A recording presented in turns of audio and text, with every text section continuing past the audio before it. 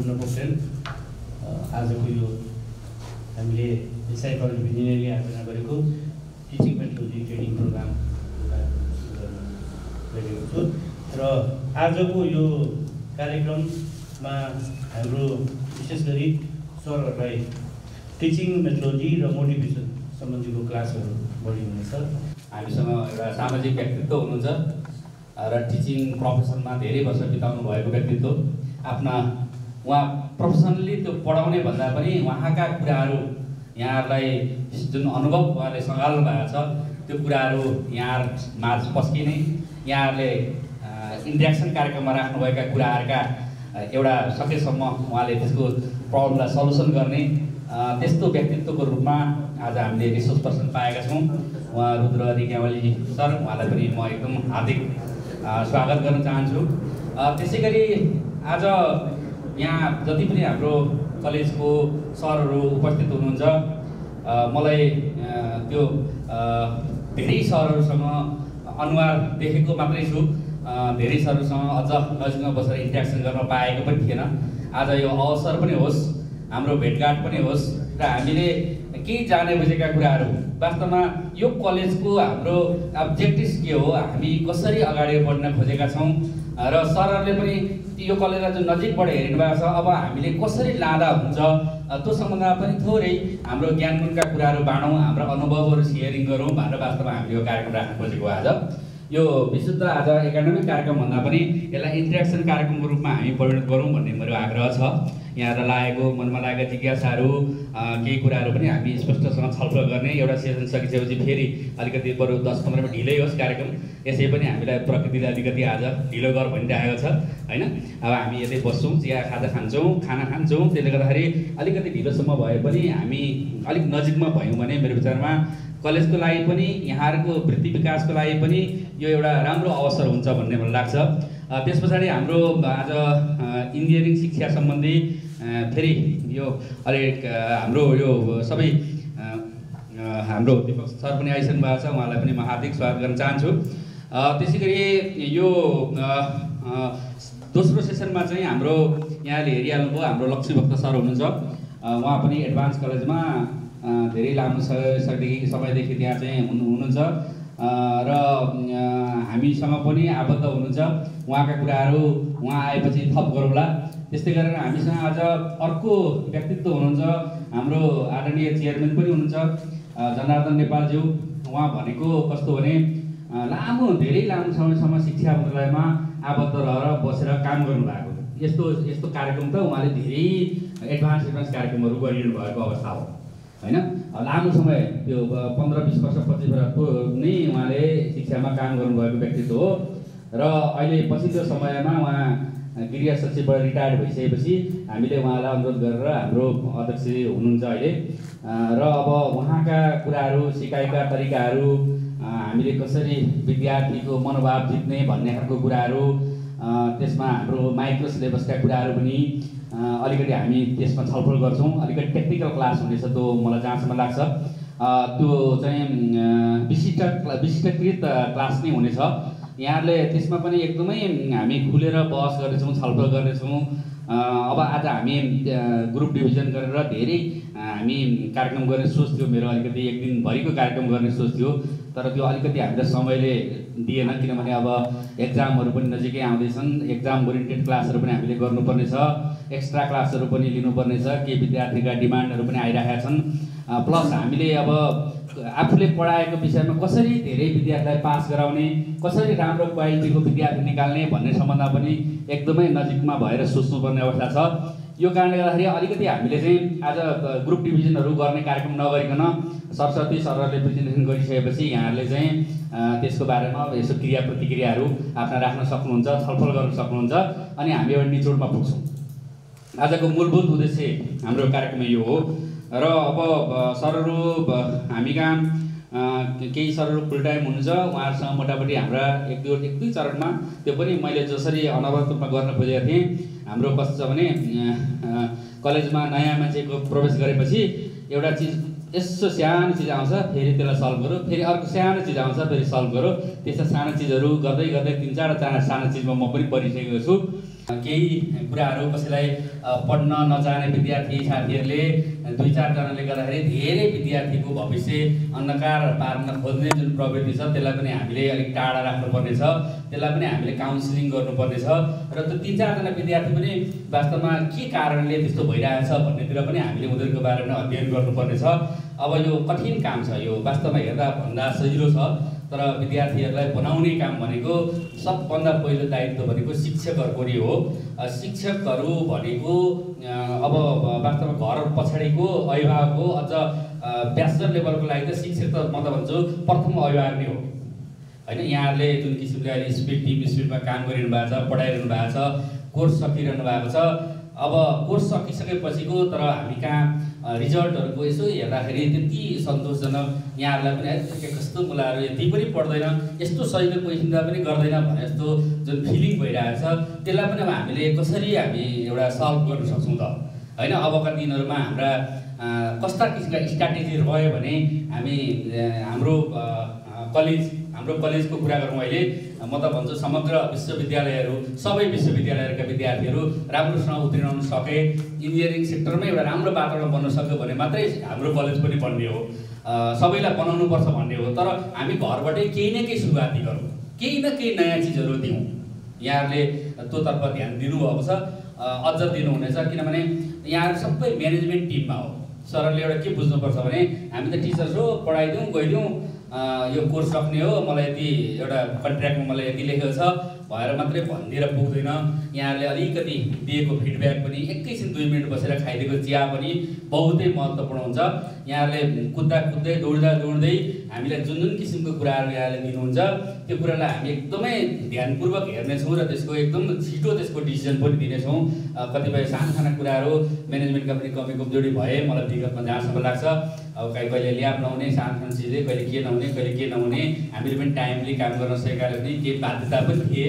होइन हामीसँग चाहिँ अब सबैतिर पैसाकै कुरा आउँछ। अलिक के के कुरा त्यस्तालाई पनि कहिलेको रोकियो होलान् अब ती चिजहरू केही नरहन् भन्नेतिर हामी एकदमै ध्यान दिइराखेका छौँ।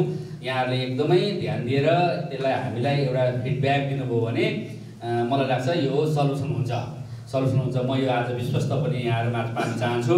अबका दिनहरूमा हामीले एकजुट भएर कुनै पनि प्रब्लमहरू आयो कसै विद्यार्थीको कुनै समस्या क्लासमा समस्या आयो भने त्यो बेला हामीलाई जानकारी भइहाल्यो भने हामी त्यो तुरुन्त त्यसको कसरी सल्भ गर्ने भएर हामी त्यहाँ एडमिनमा पनि हामी एकदम तागता गर्छौँ र आफै पनि लागेर हामी अलिक दिन केही नलागेर कि त्यसलाई कसरी त्यसको चाहिँ अगाडि बढाउने भन्ने सम्बन्धमा हामी तपाईँसँग तुरुन्त डिस्कसन गरेर सम्बन्धित विद्यार्थी होस् सम्बन्धित कोही टिचर्स होस् अथवा कोही पनि कसैको पनि कारणले कलेजलाई अवरोध पुग्छ भने त्यो अवरोध पुर्याउने व्यक्तिलाई हामी एकदमै मिलेर कारवाही गर्नुपर्छ कारवाही भनेको खालि के भन्छ स्पष्टीकरण माग्ने कलेजबाट निकाल्ने मात्रै कारवाही होइन कारवाही भनेको हाम्रो कारवाही कस्तो हुनुपर्छ भने पोजिटिभ कारवाही हुनुपर्छ त्यसलाई बनाउनेतिर कारवाही हुनुपर्छ त्यो मान्छेलाई अब कसरी बनाउन सकिन्छ त होइन हामी त मान्छे बनाउने मान्छे हो हामी बिगार्ने मान्छे होइन बिगार्न त हदै भएपछि केही नलागेपछि आफूलाई पनि जाइ लागेपछि त त्यसको उपाय छैन।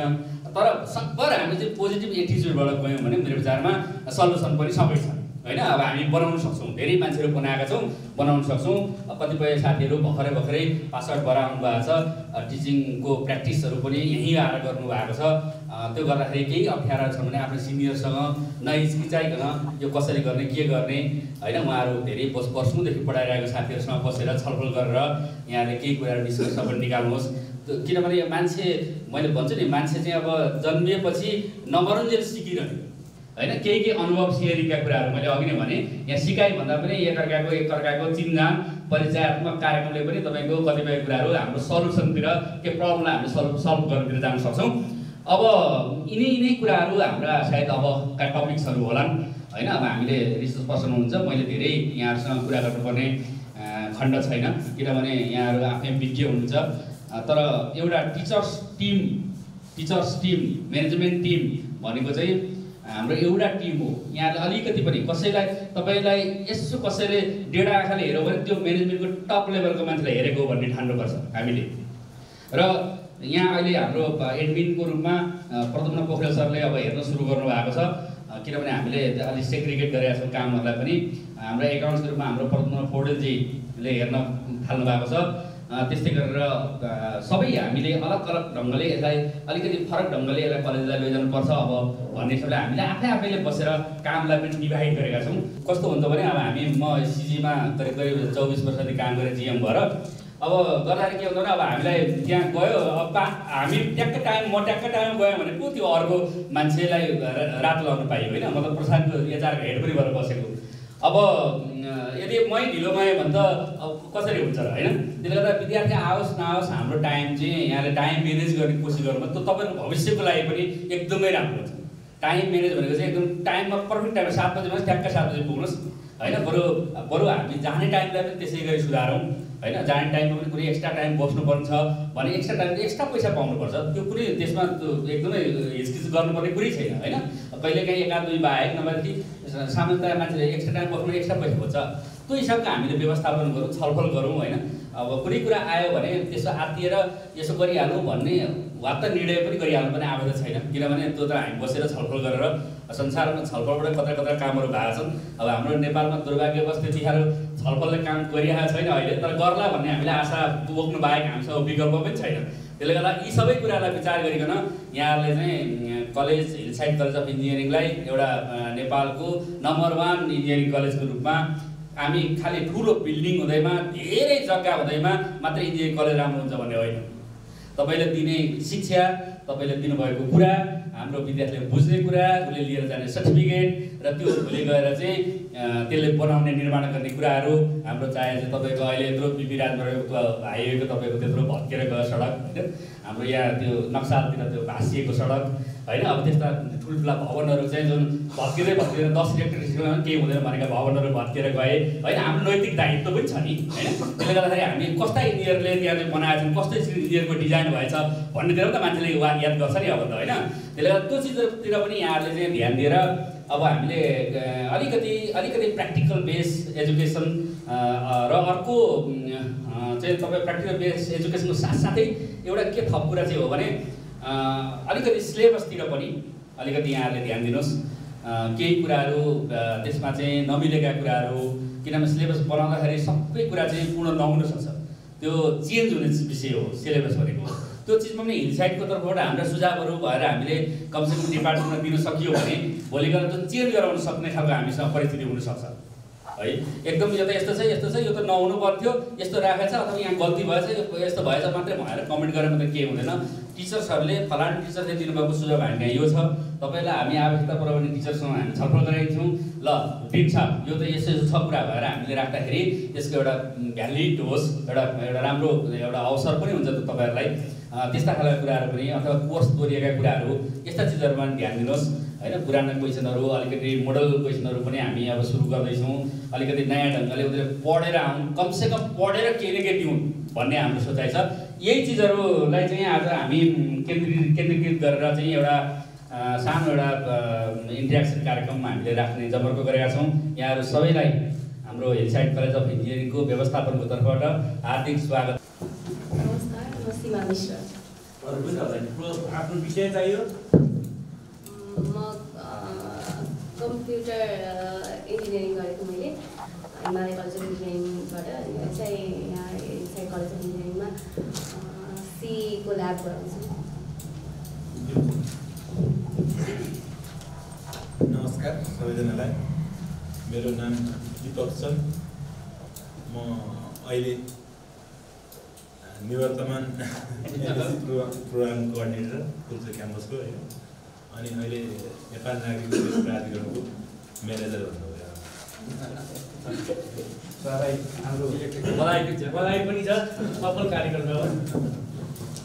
हजुर सबैलाई नमस्कार। म विजय कुमार यादव।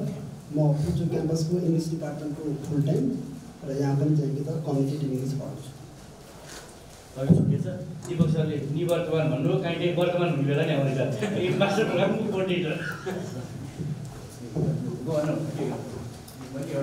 नमस्कार म सन्तोष नेपाल म चाहिँ मास्टर चाहिँ सेकेन्ड इयर एमबिएस र म हिलसाइड कलेजमा एक्जाम प्रिपेयर गर्न आउँछु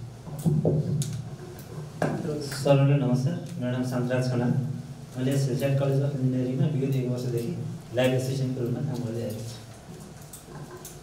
नमस्कार मेरो नाम समलाल कायस्थ पढेको मेरो मेकानिकल इन्जिनियर म विगत पाँच वर्षदेखि यो कलेजमा कार्यरत छु नमस्कार म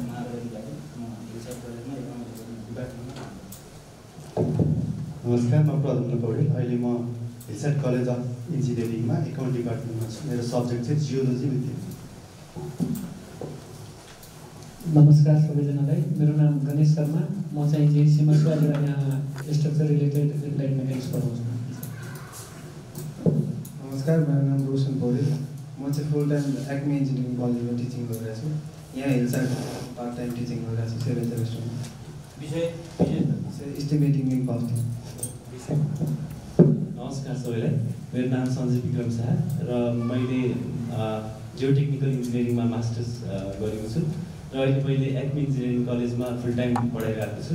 र अहिले यहाँ फाउन्डेसन इन्जिनियरिङ पढाइरहेको छु। नमस्कार मेरो नाम लेखनाथ पौडेल। म नेपाली इन्जिनियरिङ कलेजमा फुल टाइम र यहाँ चाहिँ स्टिल स्ट्रक्चर पार्टनरको पढाइरहेको छु। नमस्ते म गङ्गा टिसी म म्याथमेटिक्स विगत चार वर्षदेखि हिसाब कलेजमा एज अ पार्ट टाइम टिचरको रूपमा काम गरिरहेको छु थ्याङ्क सर व्यवस्थापन चाहिँ भन्नु नबिर्सिनु यू म यहाँको व्यवस्थापन समितिको सदस्य छु थ्याङ्क यू नमस्कार मेरो नाम राजेश कुमार सर मैले बिटेक इन मेकानिकल इन्जिनियरिङ गरेको एनआइटी वारङ्गलबाट र अहिले यहाँ इन्साइड कलेजमा इन्जिनियरिङ ग्रेड सब्जेक्ट पढिरहेको छु सरहरू सबैलाई नमस्कार मेरो नाम लक्ष्मण तिम्रो सिन्हा हालसालै चार महिनादेखि म यो हिलसाइड इन्जिनियरिङ कलेजमा एसिस्टेन्ट लेक्चररको रूपमा फुल टाइम काम गरिरहेको छु यहाँ मैले चाहिँ इलेक्ट्रिकल डिपार्टमेन्टमा तिनवटा सब्जेक्टहरू पढाइरहेको छु। नमस्कार म अरुण कुमार मेहता। म Pulchowk engineering MSc information and communication गर्दैछु। र म यो यस हिलसाइड कलेजमा विगत एक वर्षदेखि एज अ लेक्चरको रूपमा कार्यरत छु र म चाहिँ इलेक्ट्रिकल डिपार्टमेन्टमा एज अ इलेक्ट्रोनिक्स इन्जिनियरको रूपमा कार्यरत छु। धन्यवाद। नमस्कार मेरो नाम सन्तोष पन्त। म चाहिँ यहाँ इलेक्ट्रिकल इन्जिनियरिङ मटेरियल भन्ने सब्जेक्ट चाहिँ पार्ट टाइम छु नमस्कार सबैले म सुमन भट्ट बी थपली क्याम्पसबाट म यहाँ चाहिँ सर्वे र सोइलको ल्याबहरू बनाइरहेको छु।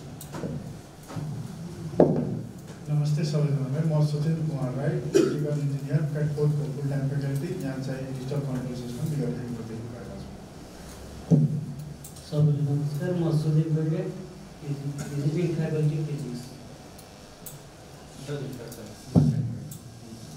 नमस्कार मेरो नाम इन्द्र भण्डारी मैले फिजिक्स पढाइरहेको छु विगत चार वर्षदेखि नमस्कार मेरो नाम बालकृष्ण नेपाली विगत चार वर्षदेखि यो कलेजमा फुल टाइम रूपमा कार्यरत छु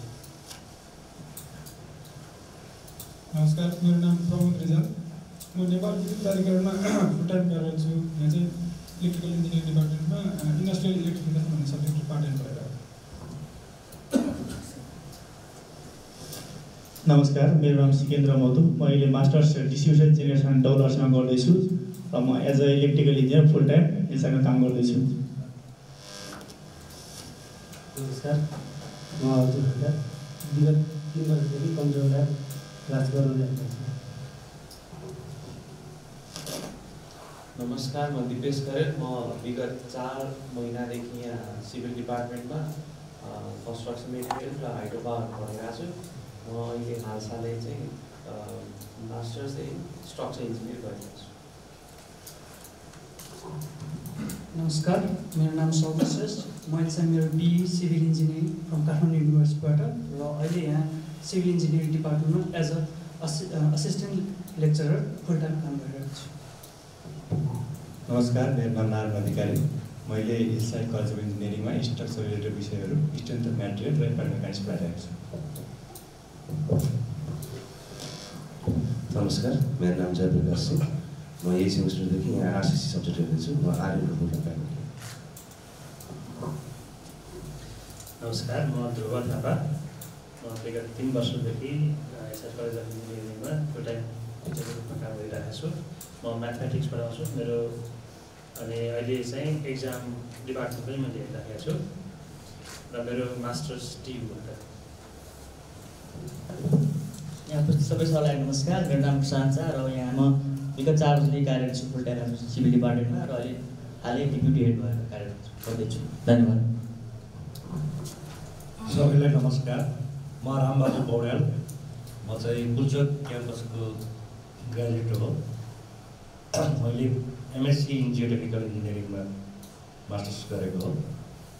र म चाहिँ विगत सत्र अठार वर्षदेखि म फिल्डमा काम गरेको मान्छे हो। फिल्ड वर्कमा विशेष गरी ट्रान्सपोर्टेसन सेक्टरमा।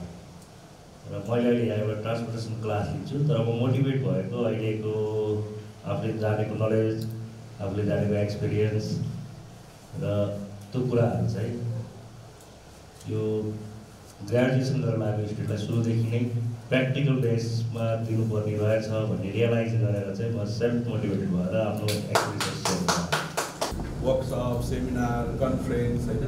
स्टुडेन्ट सेन्टर टिचर सेन्टर अब विभिन्न खालका छन् जति।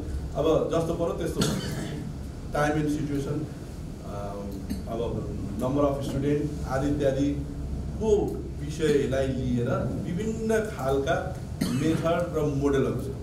Set induction introduction introduction topics topics organisation reinforcing stimulation summarising हामीले यो पाँचवटा कुरालाई ध्यान दियौँ हामी कुनै पनि विषयवस्तु पढाउँदै गर्दा भने चाहिँ हाम्रो टिचिङ चाहिँ वेल अर्गनाइज होला अथवा प्रिपेरेसन राम्रो होला भन्ने चाहिँ लाग्छ। यो कतिपय मैले कहीँबाट खोजेको कतिपय मेरो आफ्नो अनुभवबाट पनि राखेको अगाडि आउँछ हामीले bring the mood of the students into the topic क्या? पहिलो कुरो त के छ आज हामी के पढाउँदैछौँ भन्ने कुराको विषयमा विद्यार्थीलाई जानकारी भएन। भने उसको मुड आफूसँग तान्न सकिएन भने चाहिँ अलिकति क्लास चाहिँ रुचिकर हुँदैन एउटा कुरा।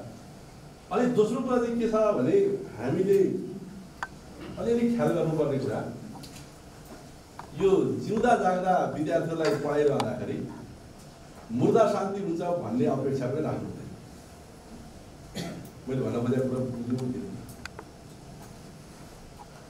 क्लास चाहिँ एकदम शान्त भइदियोस्।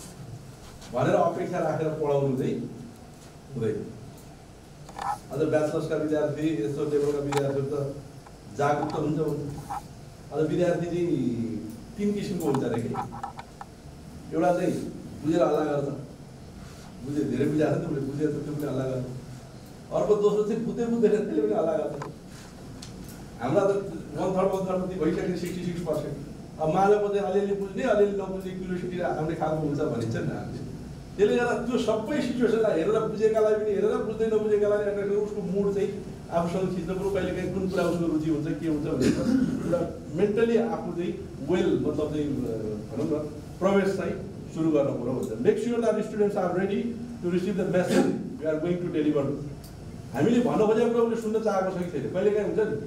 हामी आफै पनि हेर्छौँ। कुराकानी गरिरहेछ। कुराकानी गरिरहेछ।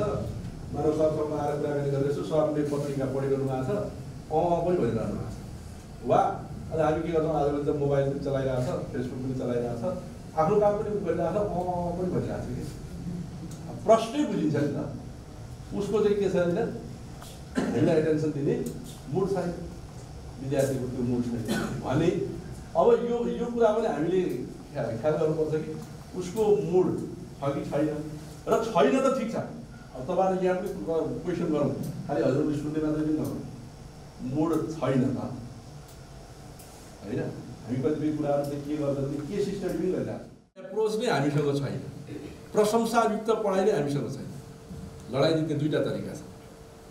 या चाहिँ युद्धबाट या चाहिँ प्रेम। दुइटै तरिकाले जित्छ। र टिकाउ र दिगो चाहिँ युद्ध प्रेमले नै हुन्छ।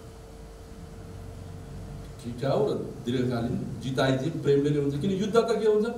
मौका पर्दा उसले कति बेला चाहिँ हुन्छ नि प्रतिक्रान्ति भन्छ। त्यस्तोको सम्भावना हुन सक्छ भने जस्तै।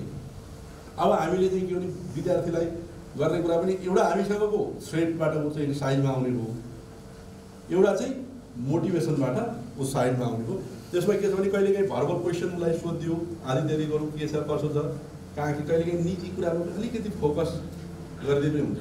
मलाई एकजना अभिभावकले हुनुहुन्थ्यो बाटोमा जाँदै गर्दाखेरि त्यो तत्त्व खान्छ नि तत्त्व बुझ्नुहुन्छ नि होइन? बाटोमा बसेर खाइरहेको छ उडाइरहेको छ बाटोमा गयो त्यो मान्छे। कस्तो सा सिम्पल फर्मुला हेर न अब त्यसलाई गाली गरौँ के गरौँ भनेदेखि किन टेर्थ्यो र अब हराएर गरेर हो त्यस्तो गर्ने। बाबु बुवालाई सन्चै छ भनेर सोध्थ्यो अब हेर्नुहोस् है।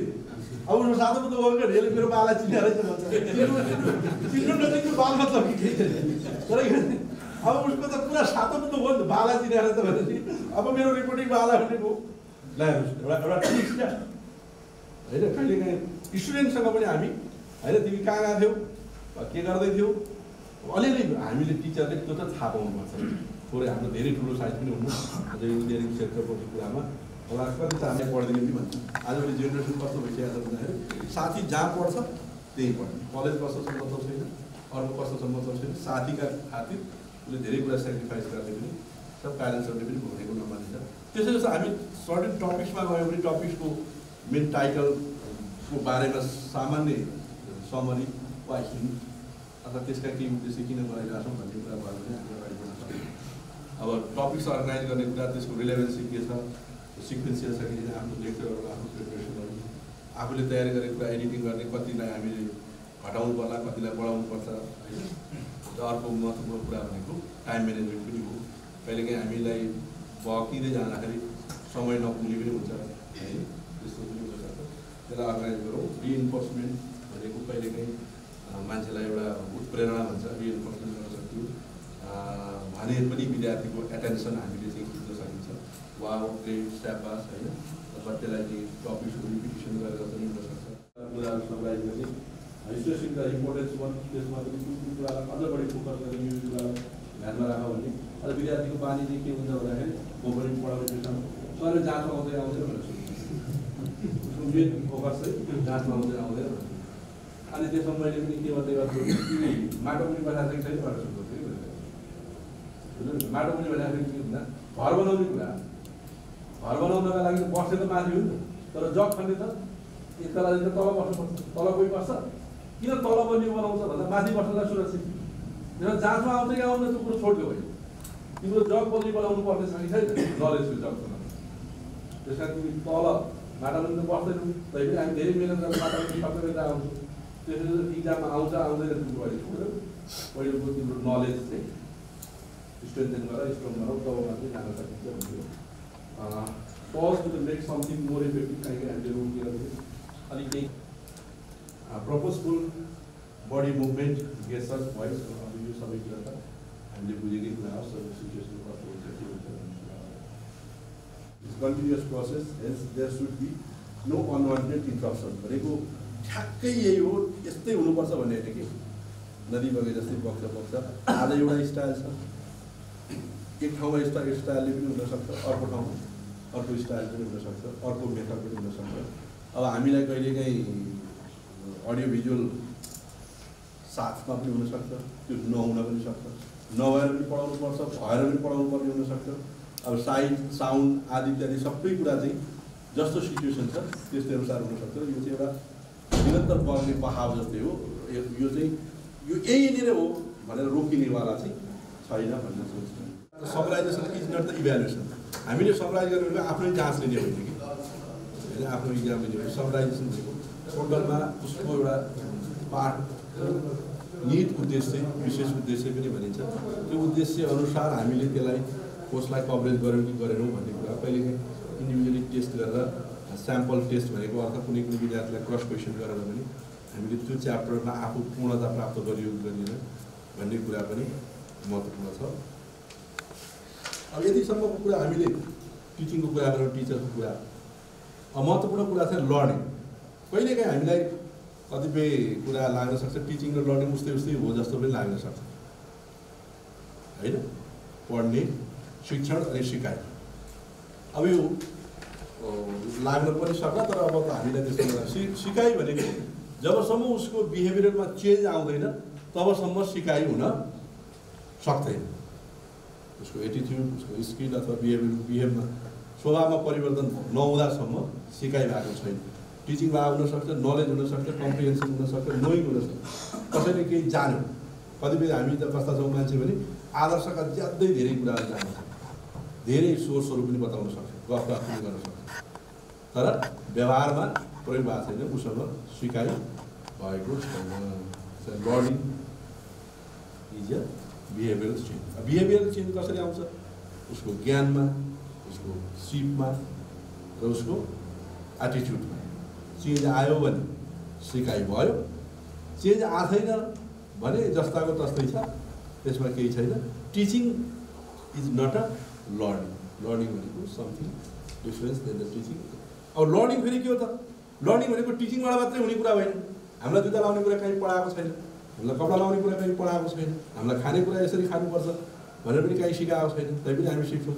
तर खाँदा खाँदै फेरि खाने ह्याबिट पनि चेन्ज गरेका हुन्छौँ। लुगा लाउँदा लाउँदै पनि लुगा लाउने ह्याबिट पनि चेन्ज गरेका हुन्छौँ।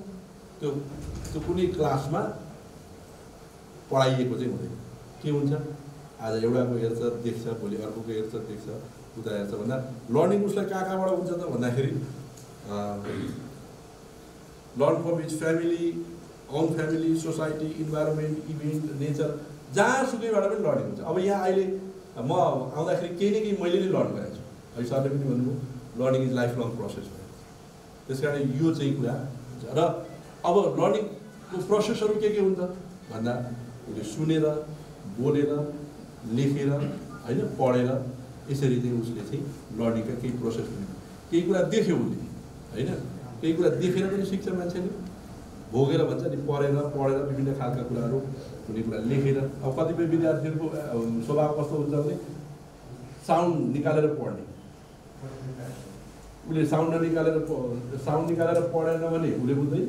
अर्को फेरि कतिपय कस्तो हुन्छ भने साउन्ड निकालेर पढ्यो भने बुझ्दैन।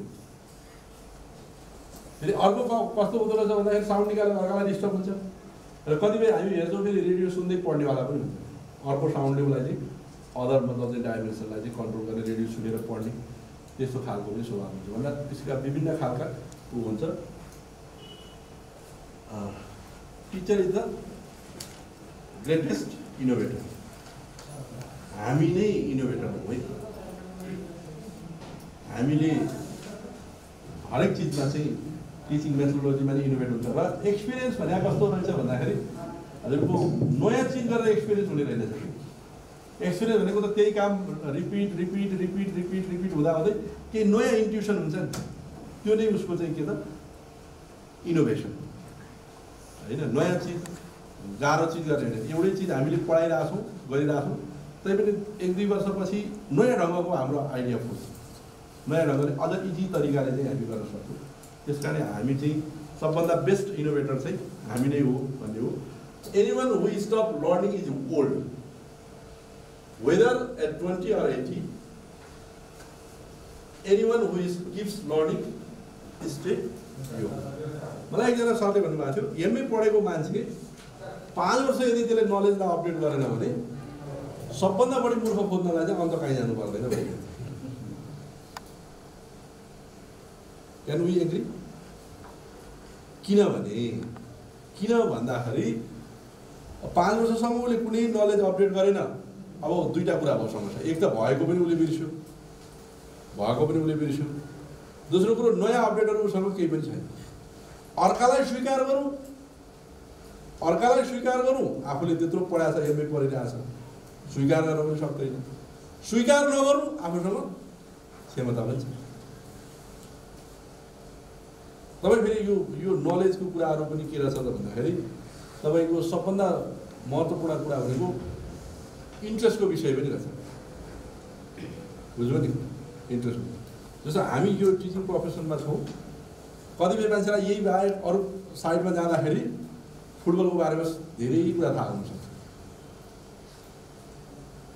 कतिपयलाई क्रिकेटको बारेमा धेरै कुरो थाहा हुनसक्छ कतिपयलाई फेरि फिल्मी स्टारहरू वा उनीहरूको विषयमा धेरै कुरा थाहा हुनसक्छ कति बेला म्युजिकको विषयमा थाहा हुनसक्छ कति बेला आइटीको विषयमा थाहा हुनसक्छ विभिन्न खालको उसको सेक्टर हुन्छ कि कहिले एउटा जोक पनि गरिन्थ्यो हामी धेरै मान्छेलाई अमिताभको बुहारी र अमिताभको नातिनीको नाम थाहा छ अरे धेरै कम मान्छेलाई हजुरआमाको नाम थाहा होइन त हजुर सोध्नुपर्छ हामीले आफ्नै हजुरआमाको नाम चाहिँ सोध्नुपर्छ अथवा बालाई आमालाई दाइलाई दिदीलाई कसैलाई तर अमिताभको नातिनीसम्मको नाम पनि थाहा छ। खोजिन्छ। भनेको इन्ट्रेस्टको कुराले। फेरि यसको अर्थ चाहिँ हामीले थाहा नभए कसैलाई अमिताभको थाहा नभए पनि हुनसक्ला आफ्नो थाहा भएको पनि हुनसक्ला तर के छ भन्दाखेरि रुचिको कुरा। मेरो के अरे अर्को म तपाईँलाई कहिले कहिले इन्ट्रेस्टिङ कुरा गर्छु। यो टपिक सुन्दा बाहिर गएको बाबु छ मेरो पनि खेल्न जान्छ। त्यो अब एउटा नाटक जस्तो हुन्छ क्या बाबु र छोराको। देख्दा त आफूलाई पनि गाली गर्न मन लाग्छ। है खेल्ने होइन भन्छ। तर फेरि आफैलाई सेल्फ रियलाइजेसन गर्छु। कुन चाहिँ बाबुले जा बाबु खेल्न जा भन्छ कसले भन्छ? भन्छ? तपाईँ हामी सबै खेलेको चोरेर हो कि भन्नुहोस् त बाबु आफै छलेर हो नि। हो? जा बाबु फुटबल खेल्न जा भनेर कसैको बाबाले भन्यो? भलिबल खेल्न जा भनेर कसैको बाबाले भन्छ? कसैको क्रिकेट खेल्न जा भन्छ? भन्दैन अनि म पनि सेल्फ रियलाइज गर्छु। अलिअलि त उसले चोरेरै सिक्ने अब जा फुटबल खेल्न जा भनेर कसले भन्छ? देख्दा गाली गर्नु पऱ्यो। गाली गरेर पनि गर्नु पऱ्यो। अलिअलि भागेर छ चलेको आफूले सिक्ने पनि त्यसै गरियो हामीले आफूले सिकाए पनि त्यही पनि होइन? लर्निङको कुरा स्किलको कुरा हो। तर यदि हामी नलेजेबल छौँ नलेज अपडेट छ भने we are looking still young होइन भने बिस वर्षको होस् कि चालिस वर्ष होस् उसँग ज्ञान छैन नलेज अपडेट छैन भने बुढो अपडेटेड आउटडेटेड हुन्छ भन्ने चाहिँ कुराहरू हो। Teacher should guide without dictating and participating without dominating अथवा यो यो चाहिँ कुरा अलिक महत्त्वपूर्ण छ हाम्रो पुरानो स्टाइल भनौँ नि बात भएन। भनेर गाली गर्ने डोमिनेट गर्ने। र फेरि अर्को कुरा पनि खतरा छ क्या फेरि। अहिले मैले मास्टर भनिरहला नि तपाईँ अहिले थुप्रै चिज ब्यानर बनिरहेको छ हो ब्यानर। हामी मास्टरको के हुन्छ थाहा छ? कहाँ ठिक लेखेको छ त्यहाँ होइन आँखा जाने। कहाँ मिस्टेक भएर झ्याप्पै त्यही ठाउँ किनभने कापी करेक्सन गर्दा गर्दा हाम्रो आँखा यदि अभ्यस्त भइरहेको छ कि ठिक हेर्न छोडिसक्यो। कहाँ ठिक छ? झ्याप्पै ठाउँ त्यो अब त्यो पनि अब पुरानो शैली हो क्या त्यो पुरानो शैली होइन? अब ग्रामर पनि उसको छ। मिस्टेक देखिन्छ कहिले के देखिन्छ कहिले के देखिन्छ ठिक त्यति बिर्सिसकेको हुन्छ किनभने उसलाई करेक्सन गर्नु छ नि त। करेक्सन एक अर्थमा त ठिक हो। त्यसले गर्दा अबदेखि उसलाई डिक्टेट गरेर डोमिनेट गरेर पढ्ने अथवा उ गर्ने जमाना गयो भन्ने चाहिँ सेल्फ कम्प्लेनिङ भनेको The critical factor is not class size, but rather the nature of the teaching and affect the learning. Class कत्रो हुन्छ त्यसले त्यति धेरै मतलब राख्दैन। होइन? हाम्रो चाहिँ टिचिङ स्टाइल लर्निङ स्टाइल कस्तो छ इन्भाइरोमेन्ट कस्तो छ भन्ने कुराहरू चाहिँ बढी चाहिँ टिचिङ लर्निङ प्रोसेस चाहिँ अगाडि बढ्छ भन्ने लाग्छ। यो लेक्चरले बुझ्ने त जम्मा पाँच पर्सेन्ट मात्रै रहेछ अरे कि?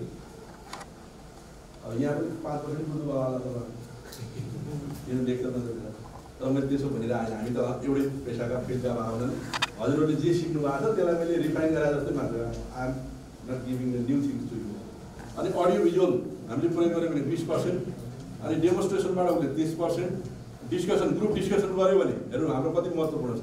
ग्रुप डिस्कसन गऱ्यो भने उसले के अरे पचास पर्सेन्टसम्म बुझ्दो रहेछ। प्र्याक्टिस बाई डुइङ भयो भने पचहत्तर पर्सेन्ट। र टिचिङ अदर्स अरूलाई पढाउनु पऱ्यो भने हामीले अहिले पढाउनु परिरहेको छ। अरूलाई पढाउनु पर्दाखेरि बल्ल हामीले चाहिँ नाइन्टी पर्सेन्ट बुझ्छौँ भने दस पर्सेन्ट त स्टिल ढाक हुन्छ यसको अर्थ के हो भने हामी हन्ड्रेड पर्सेन्ट पर्फेक्ट हुन त सक्दैनौँ। पर्फेक्सन पोसिबल कुरा छैन। नियर टु पर्फेक्सन चाहिँ हो भन्ने चाहिँ कुरा हो। That which activate or empowers human behaviour होइन? के छ गर्नु त सबैले गरिरहेको हुन्छ नि त्यही काम मोटिभेटेड भयो भने अलि स्पिडमा गर्छ। बुझ्नेले पनि त्यही हो बुझ्ने। होइन? मोटिभेटेड छ भने त्यसको स्पिड बढ्यो भनेको गरेको र गरिदिएको के पढेको र पढिदिएको यही छ मलाई होइन, मैले त गरिदिएको छु। भनेर यही कुरा इम्पावर गर्ने कुरा हो, उसको बिहेभियरमा that which directs the or channels behaviour अलिक अलिक निर्देशित अलिक साइज़ अनि सेपमा चाहिँ उसको बिहेभियरलाई ल्याउन सकिन्छ। How behaviour is maintain and sustain behaviour कसरी मेन्टेन गर्छ सस्टेन गर्छ भन्ने कुरा पनि मोटिभेसनले असर गर्छ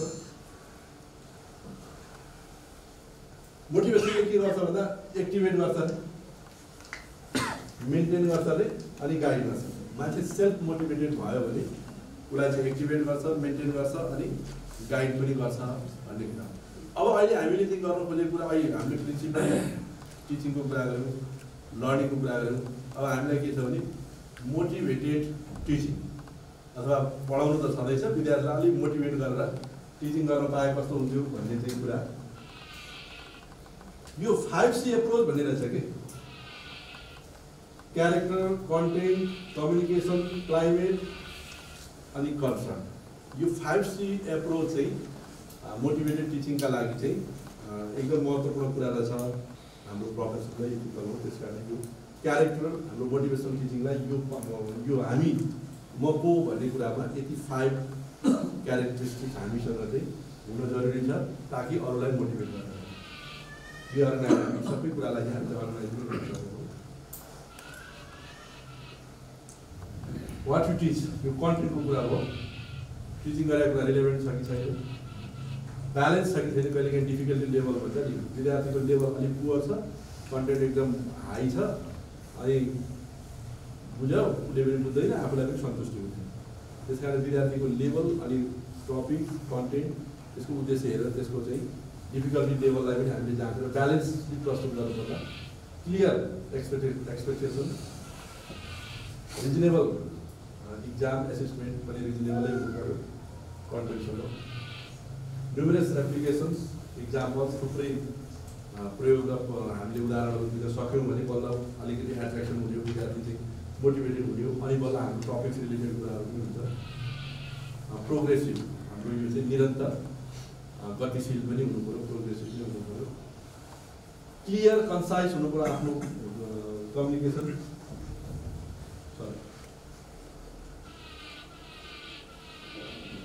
इङ्गेजिङ आफूले बोलेको कुराबाट सबैले सबैको माझको कुरा बोल्नु कि सबैलाई काम लाग्ने कुरा। कहिले हामी सामान्य कुराबाट पनि डिमोटिभेटेड जस्तो हुन्छ। हजुरहरूलाई कति एक्सपिरियन्स छ एकजना मान्छेले कसैले सोध्यो हामी चाहिँ उसैको टेबलमा उसैको डेस्कमा गएर सल्भ गरिदिन थाल्छौँ। याद छ होइन? हामी यस्तो गर्छौँ। This is not the right way problem उसको भने उसको प्रब्लमलाई पनि हामीले चाहिँ व्हाइट बोर्डमा ब्ल्याक बोर्डमा हामी अहिले त प्रायः व्हाइट बोर्डमै प्रयोग गर्छौँ। त्यहाँ ल्याएर कभर गऱ्यो भने के हुन्छ? फोकस ठिक छ उसलाई गऱ्यो। तर हेर्न त सबैले हेर्छ नि त।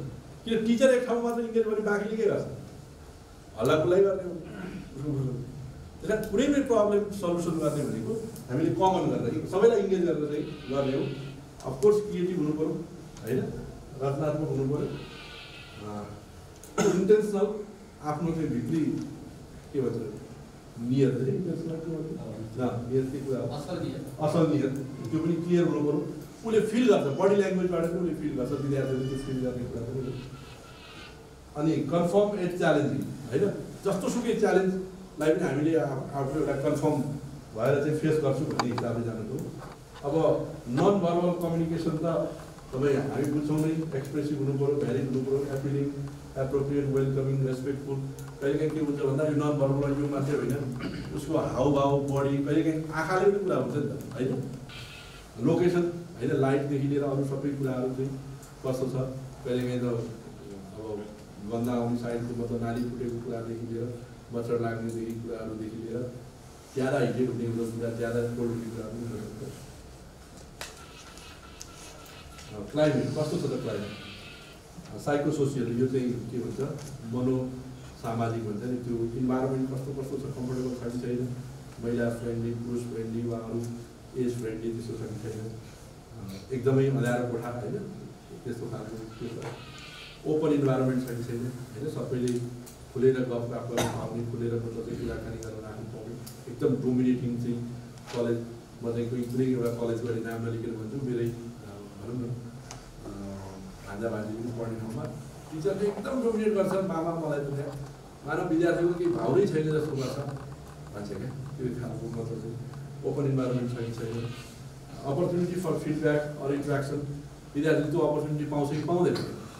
त्यही अहिले मैले भनेको क्रस क्वेसन गर्न पाएन कुराकानी गर्न पाएन भने कसरी चाहिँ मोटिभेटेड हुन्छ उसको पनि भ्यालु हुन्छ नि अहिले त डिग्निटीको कुरा छ सबै कुरा positive atmosphere traditional and non traditional reward system traditional हामी परम्परागत मतलब चाहिँ स्याबासी दिने चलनहरू पनि छ।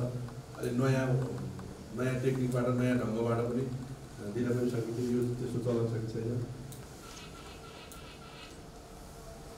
किन हामीले पढाइरहेको छौँ सबभन्दा महत्त्वपूर्ण। हामी चाहिँ पोजिटिभ एटिट्युडका साथै हामी चाहिँ टिचिङमा चाहिँ जानै पर्छ make every attempt to establish an atmosphere conducting to learning strive to maintain a sincere concern, commitment to us.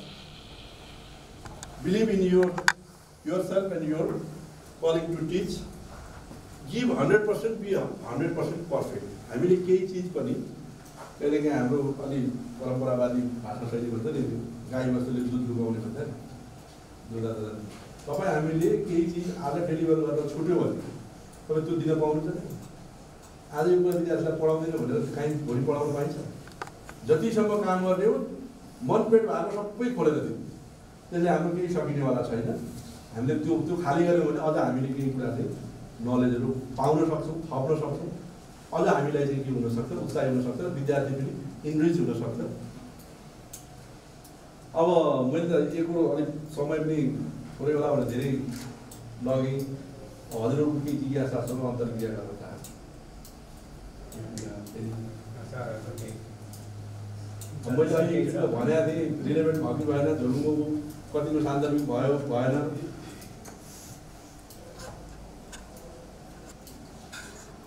के पनि छैन यो त फेरि मैले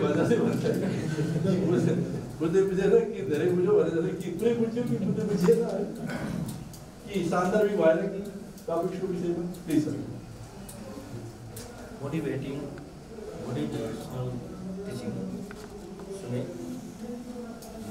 एप्रिसिएट मैले चाहिँ एप्रिसिएटिभ इन्क्वायरीको ट्रेनिङ लिएँ भेरी गुड धेरै कुराहरू मिल्न आयो म चाहिँ रिकल पनि गरेँ मैले फिफ्टिन डेजको ट्रेनिङ लिएको थिएँ भेरी गुड र त्यो द्याट वाज भेरी फाइन त्यो लमजुङमा थिएँ त्यो बेला म जिआइजिएल भन्ने संस्थामा काम गर्थेँ त्यो बेलाको मेरो सोचाइ नै अलिक अर्कै अर्कै खालको थियो यो पनि काम पनि गर्थेँ अनि अर्गनाइजेसन पनि चलाउँथेँ। मदेखि सब इन्जिनियरहरू त स्टाफहरू सात हजार त्यस्तो खालको बिहेभियरले मैले अनलाइन चलाइरहेको थिएँ।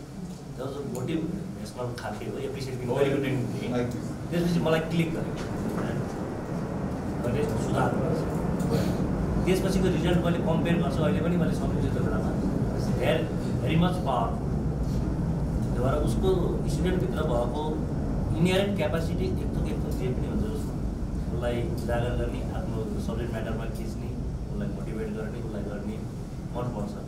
धेरै खुसी लाग्छ। थ्याङ्क यू आज त कति नै होला होइन तर अफकोर्स मोटिभेसनल भने एप्रिसिएसनबाटै सुरु हुने त उसलाई एप्रिसिएट गर्ने मोटिभेट जस्तो मैले पास आउट भएको धेरै दुई तिन वर्ष भयो। मेरो फर्स्ट जबै टिचिङ हो। सुरु सुरुमै धेरै एप्रिसिएसन पाएँ मैले धेरै मिहिनेत गरेँ।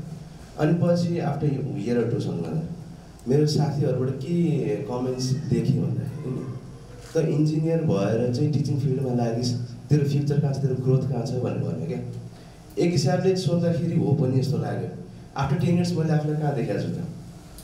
म त खास इन्जिनियर हो नि त।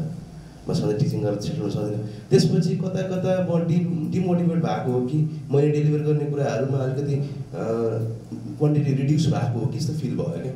जस्तो म जस्तो मान्छे जो टेक्निकल फिल्डमा छ जो टिचिङ लाइनमा आउनु खोजेको छ तर स्ट्रगल गरिरहेको छ भने म जस्तो आफूलाई सेल्फ मोटिभेट गर्नलाई चाहिँ के कस्तो प्र्याक्टिस गर्नु पर्ला अथवा के गर्दाखेरि चाहिँ मैले विद्यार्थीलाई चाहिँ अलिक मोटिभेट गर्न सक्छु भनेर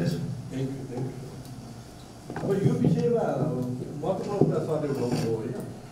कहिलेकाहीँ हामी आफ्नो कारणले भन्दा अरूको कारणले दुःखी हुन्छ। होइन? त्यो चाहिँ कस्तो छ भन्दाखेरि मलाई केही दुःख परेको छैन।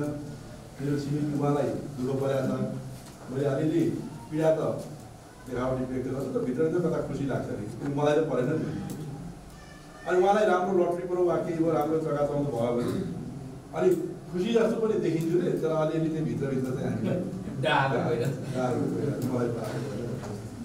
र दुःखको लागि एउटा राम्रो कारण चाहिँ कम्पेरिजन हो कम्पेरिजन गरेपछि दुःखका लागि कुनै अन्त हाउनै पर्दैन कि दुःख हुनेको पहिलो कारण भनेको कम्पेरिजन होइन अब सरको मोटिभेसनको कुरा के first you satisfied where you are भन्ने कुरा हो।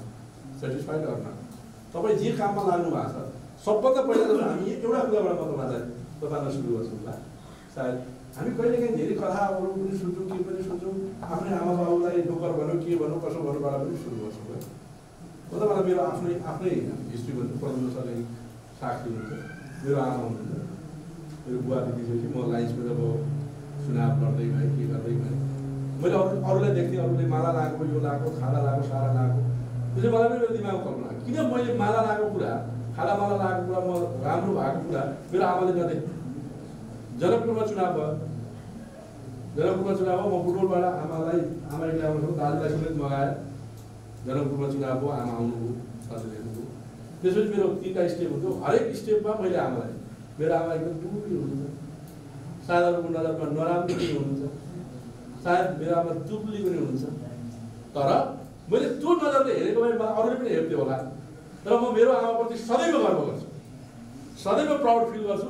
र हुँदा हुँदा मैले आमालाई गरेको रेस्पेक्ट चाहिँ यही। अस्ति अक्टोबर वान तारिकको दिन लाइन्सको एकजना दाजुले के गर्नुभयो भने हाम्रो चाहिँ माधव घिमिरे सत्यमोहन जोशी लगायतका नेपालका प्रतिष्ठित मान्छेहरूको बिचमा मेरो आमालाई नै बोलाएर उहाँले सम्मान गर्नु तपाईँ जस्तो छोरा पाउ मतलब पाउनेलाई सम्मान गर्छु भन्नु सरे हुन्थ्यो मेरो आमा अहिले पनि सम्झनु त्यो मलाई माया गर्ने मान्छे कहाँ छ बाबु भन्नु। अब मैले भन्नु खोजेको कुरा के हो भने सर पहिला हामीले आफ्नो जे छ त्यसलाई रेस्पेक्ट गरौँ कि। तपाईँको पेसालाई रेस्पेक्ट गर्नु तपाईँ आफ्नो जुन फ्यामिलीमा जन्मिनुभयो त्यसलाई रेस्पेक्ट गर्नु छैनबाट सुरु गर्नु भने तपाईँ निराशा मात्रै हुन्छ। छ। तपाईँसँग जे छ त्यही। मसँग मोटरसाइकल छ। राइट तर कसैको मर्सिडिज कारभन्दा कमजोर छैन भनेर फिल गरेर चढ्नुहोस् बडो आनन्द आउँछ? त्यसले त गाडी चलाएर खत्तम। म भन्दा त मोटरसाइकल हिँड्दा हिँड्दा तपाईँलाई निराशा लाग्छ क्या। यो एप्रिसिएसन भनेको कसरी गर्न सकिन्छ? एउटा एउटा एउटा टिप्स चाहिँ मैले पाएको यो हिलसाइडबाट आएर कस्तो भने पछाडि ओके हामीहरू सबैसँग आफ्नो आफ्नो फिल्डको नलेज छ। होइन?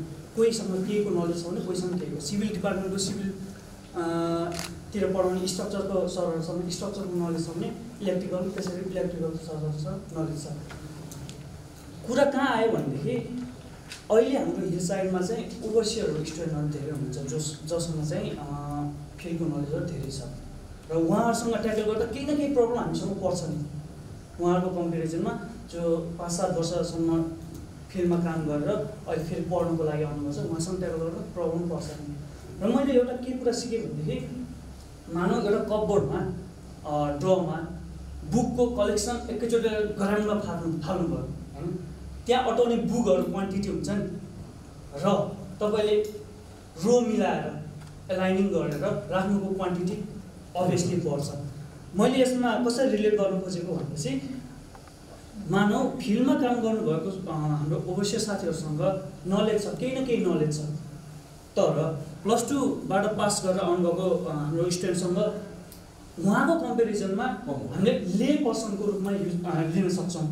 अब हामीले आफ्नो टिचिङ मेटेरियलहरू डेलिभर गर्दाखेरि पनि कसरी हेर्नु पऱ्यो भने चाहिँ ले पर्सन जुन प्लस टूबाट आउनुभएको छ उहाँलाई दिँदाखेरि र जो ओभरसियरमा काम गरेर ओभरसियर काम गरेर सात वर्ष आठ वर्ष काम गरेर आउनुभएकोलाई दिनु नलेज फरक पर्ने कसरी भनेदेखि अहिले अहिले इभन म नै गएर एउटा कोही ओभरसियर काम गरेर आउनुभएको साथीले क्वेसन राइज गरेकोमा होइन सर तपाईँको यो भएन होइन तप- तपाईँको यो कुरा मिलेन।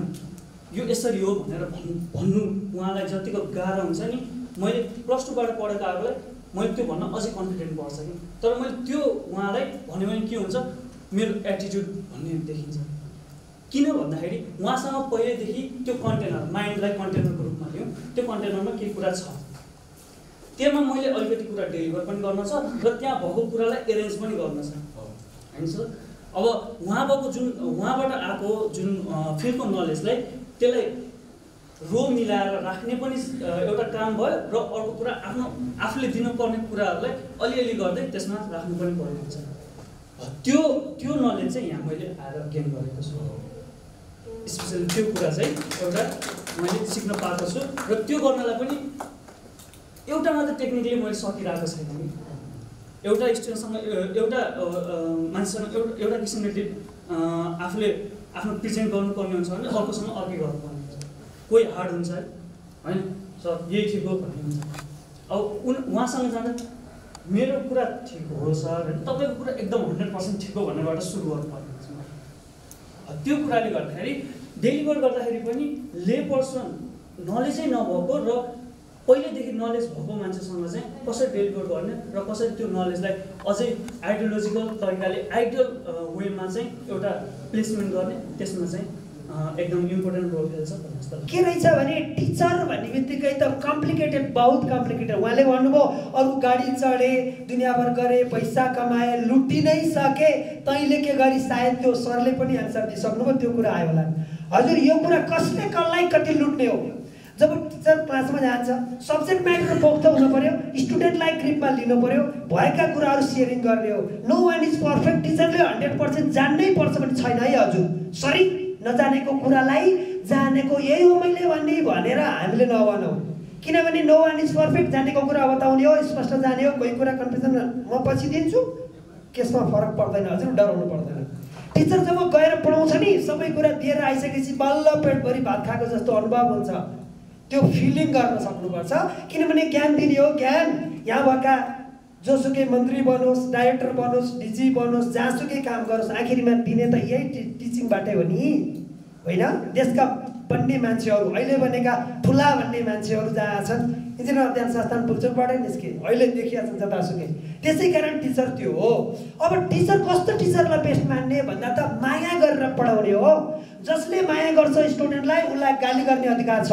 तर माया नगर्नेलाई गाली गर्ने अधिकार छैन। एउटा मात्रै त्यो चिज हो आमा बाउको कुरा गरिनँ मैले आमाको कुरा गरेँ। त्यसै कारण आमालाई गाली गर्ने अधिकार छ किनभने उसको माया र बाउको माया आकाश जमिनको फरक छ। नत्र भने बाउलाई पनि गाली गर्ने अधिकार छैन। त्यस कारण टिचरले स्टुडेन्टलाई माया गरेर पढाइदिनुहोस् उनको मनको भावना बुझ्नुहोस्। धेरै थरीका स्टुडेन्ट आउँछन् खाली छन्। एजुकेसनमा चारवटा सेक्टर छ।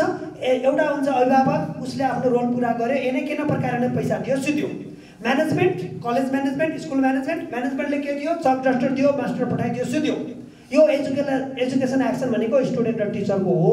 त्यस कारण म त के भन्छु भने स्टुडेन्ट फेल गर्नु हुनु भनेको टिचर फेल भयो। अमन्त्रणम अचनम नास्ति नास्ति नास्ति मोलाउ सदम अयोग्य पुरुषो नास्तु योजकस्त दुर्लभम भन्छ। संस्कृतमा बोले सरी छकच्याको हो यो। अक्षर न मन्त्र नहुने अक्षर हुँदैन औषधि नहुने जरा हुँदैन अयोग्य मान्छे हुँदैन तर बाटो देखाउनेको दुर्लभ हुन्छ। बाटो कसले कसरी देखाउँछ त्योमा भर पर्छ हामी बाटो देखाउने मान्छेहरू हो। त्यसै कारण फेरि मलाई यतिखेर प्रोफेसर विलियमको कुरा भन्न मन लाग्यो। टिचर तार प्रकारको हुँदो रहेछ। एउटा टिचर के गर्छ? पढाउँछ टक गर्छ भरको म्याटर दिन्छ। फेरि सरी है हामीलाई सब्जेक्ट म्याटर पढाउनलाई यो टिचिङ प्रोग्राम सुरु गरेर के चाहिँ टिचिङ मेथड राखेको होइन। युआर एक्सपर्ट हामीभन्दा रुद्र सर भन्दा तपाईँहरू एक्सपर्ट हुनुहुन्छ यसमा दुविधा छैन। मभन्दा त हुनुहुन्छ। यसमा म ग्यारेन्टेड छु है। तर कुरो के रह्यो भने दिएको चिज कसरी खान्छ अथवा खाँदैन त्यो कुरा हो क्या। हाम्रो काम भनेको खोलासँग लगेर पानी खाउँ खाउँ बनाएर उसलाई प्याज तिर्खा कति मिठो पानी खाउ त भनेर भनिदिनु भएको छ। हजुरआमाले खुवाएको जस्तो गरेर भात खाए जस्तै स्टुडेन्टलाई खुवाउने हो। न कि आमाले होइन बाउले होइन। आमाले के हुन्छ फुर्सद छैन? उसले के गरिदिन्छ त? लगेर खा नखाए पस्केर भात छ त्यो नातिले खाँदैन। हजुरआमाले खुवाउँदा के गर्छ? कोकाई कोकाई बाबा भनेर जाउलो खुवाउँछ। नातिले खाएन भने आ गरेर आफू खान खोज्छ। थोरै आफू खानलाई पकाएको जाउलो हो र अनि आ गरेको बेला आ हजुरआमाले आ गरी भनेर त्यो नातिले ईर्षा गरेर आफू आ गर्दा घप खुवाइदिन्छ हो वी हेभ टु डु त्यो सम्भव छ त ढिडाल सर छ सम्भव छ। तर मलाई धेरै आइरहेका छन् यहाँ। विलियमको कुरा गरेँ पहिलो ग्रेडको टिचरले के गर्छ? टक गर्छ पढाउँछ दिन्छ। दोस्रोले के गर्छ? सरी प्रेजेन्टेसन भएको भए धेरै राम्रो तर म धेरै समय होइन मैले यो एउटा खोसेरै लिएको जस्तो समय लिएको धेरै डिस्टर्ब गऱ्यो भने फेरि चिट आउँछ अहिले गर्दैन है। पहिलोले के गर्छ? टक गर्छ टिच गर्छ। दोस्रोले के गर्छ? उसले एक्सप्लेन गर्छ। ए यसरी भयो नि भन्छ। तेस्रोले के गर्छ? गर्नुपर्छ। उसले डिमोन्स्ट्रेट गर्छ मोडल बनाइदिन्छ। है? स्टुडेन्टलाई राख्नै पर्ने भयो। स्टुडेन्ट बाबु तिमी कानको उठबस गर सरी भन भन्यो भने आफूले कानसम्म मात्र उठबस गरेर सिकाउनु पर्छ टिचरले। यदि टिचर हो गुरु हो भने। किनभने हामी कहाँ त संस्कार के भइसक्यो? ठुलो भइसक्यो। ठुलो मान्छेले गर्नु हुँदैन। ठुलो मान्छे गऱ्यो भने त सानो भइ गयो नि। उल्टा सोच सोच बिग्रियो मिलेन। गरेर देखाउने हो। स्टुडेन्ट त काँचा माटा हुन् हजुर काँचा माटा हामीले बनाउने हो। गुन्डा बनाए पनि हामीले बनाउने हो। देशलाई चाहिने जनशक्ति बनाउने हामीले बनाउने हो। तर उसको दिमागको चिप्स निकालेर नयाँ चिप्स राखिदिनुपर्छ। त आज जन्मिस भन्नुपर्छ। त्यो सम्भव छ र सर छ।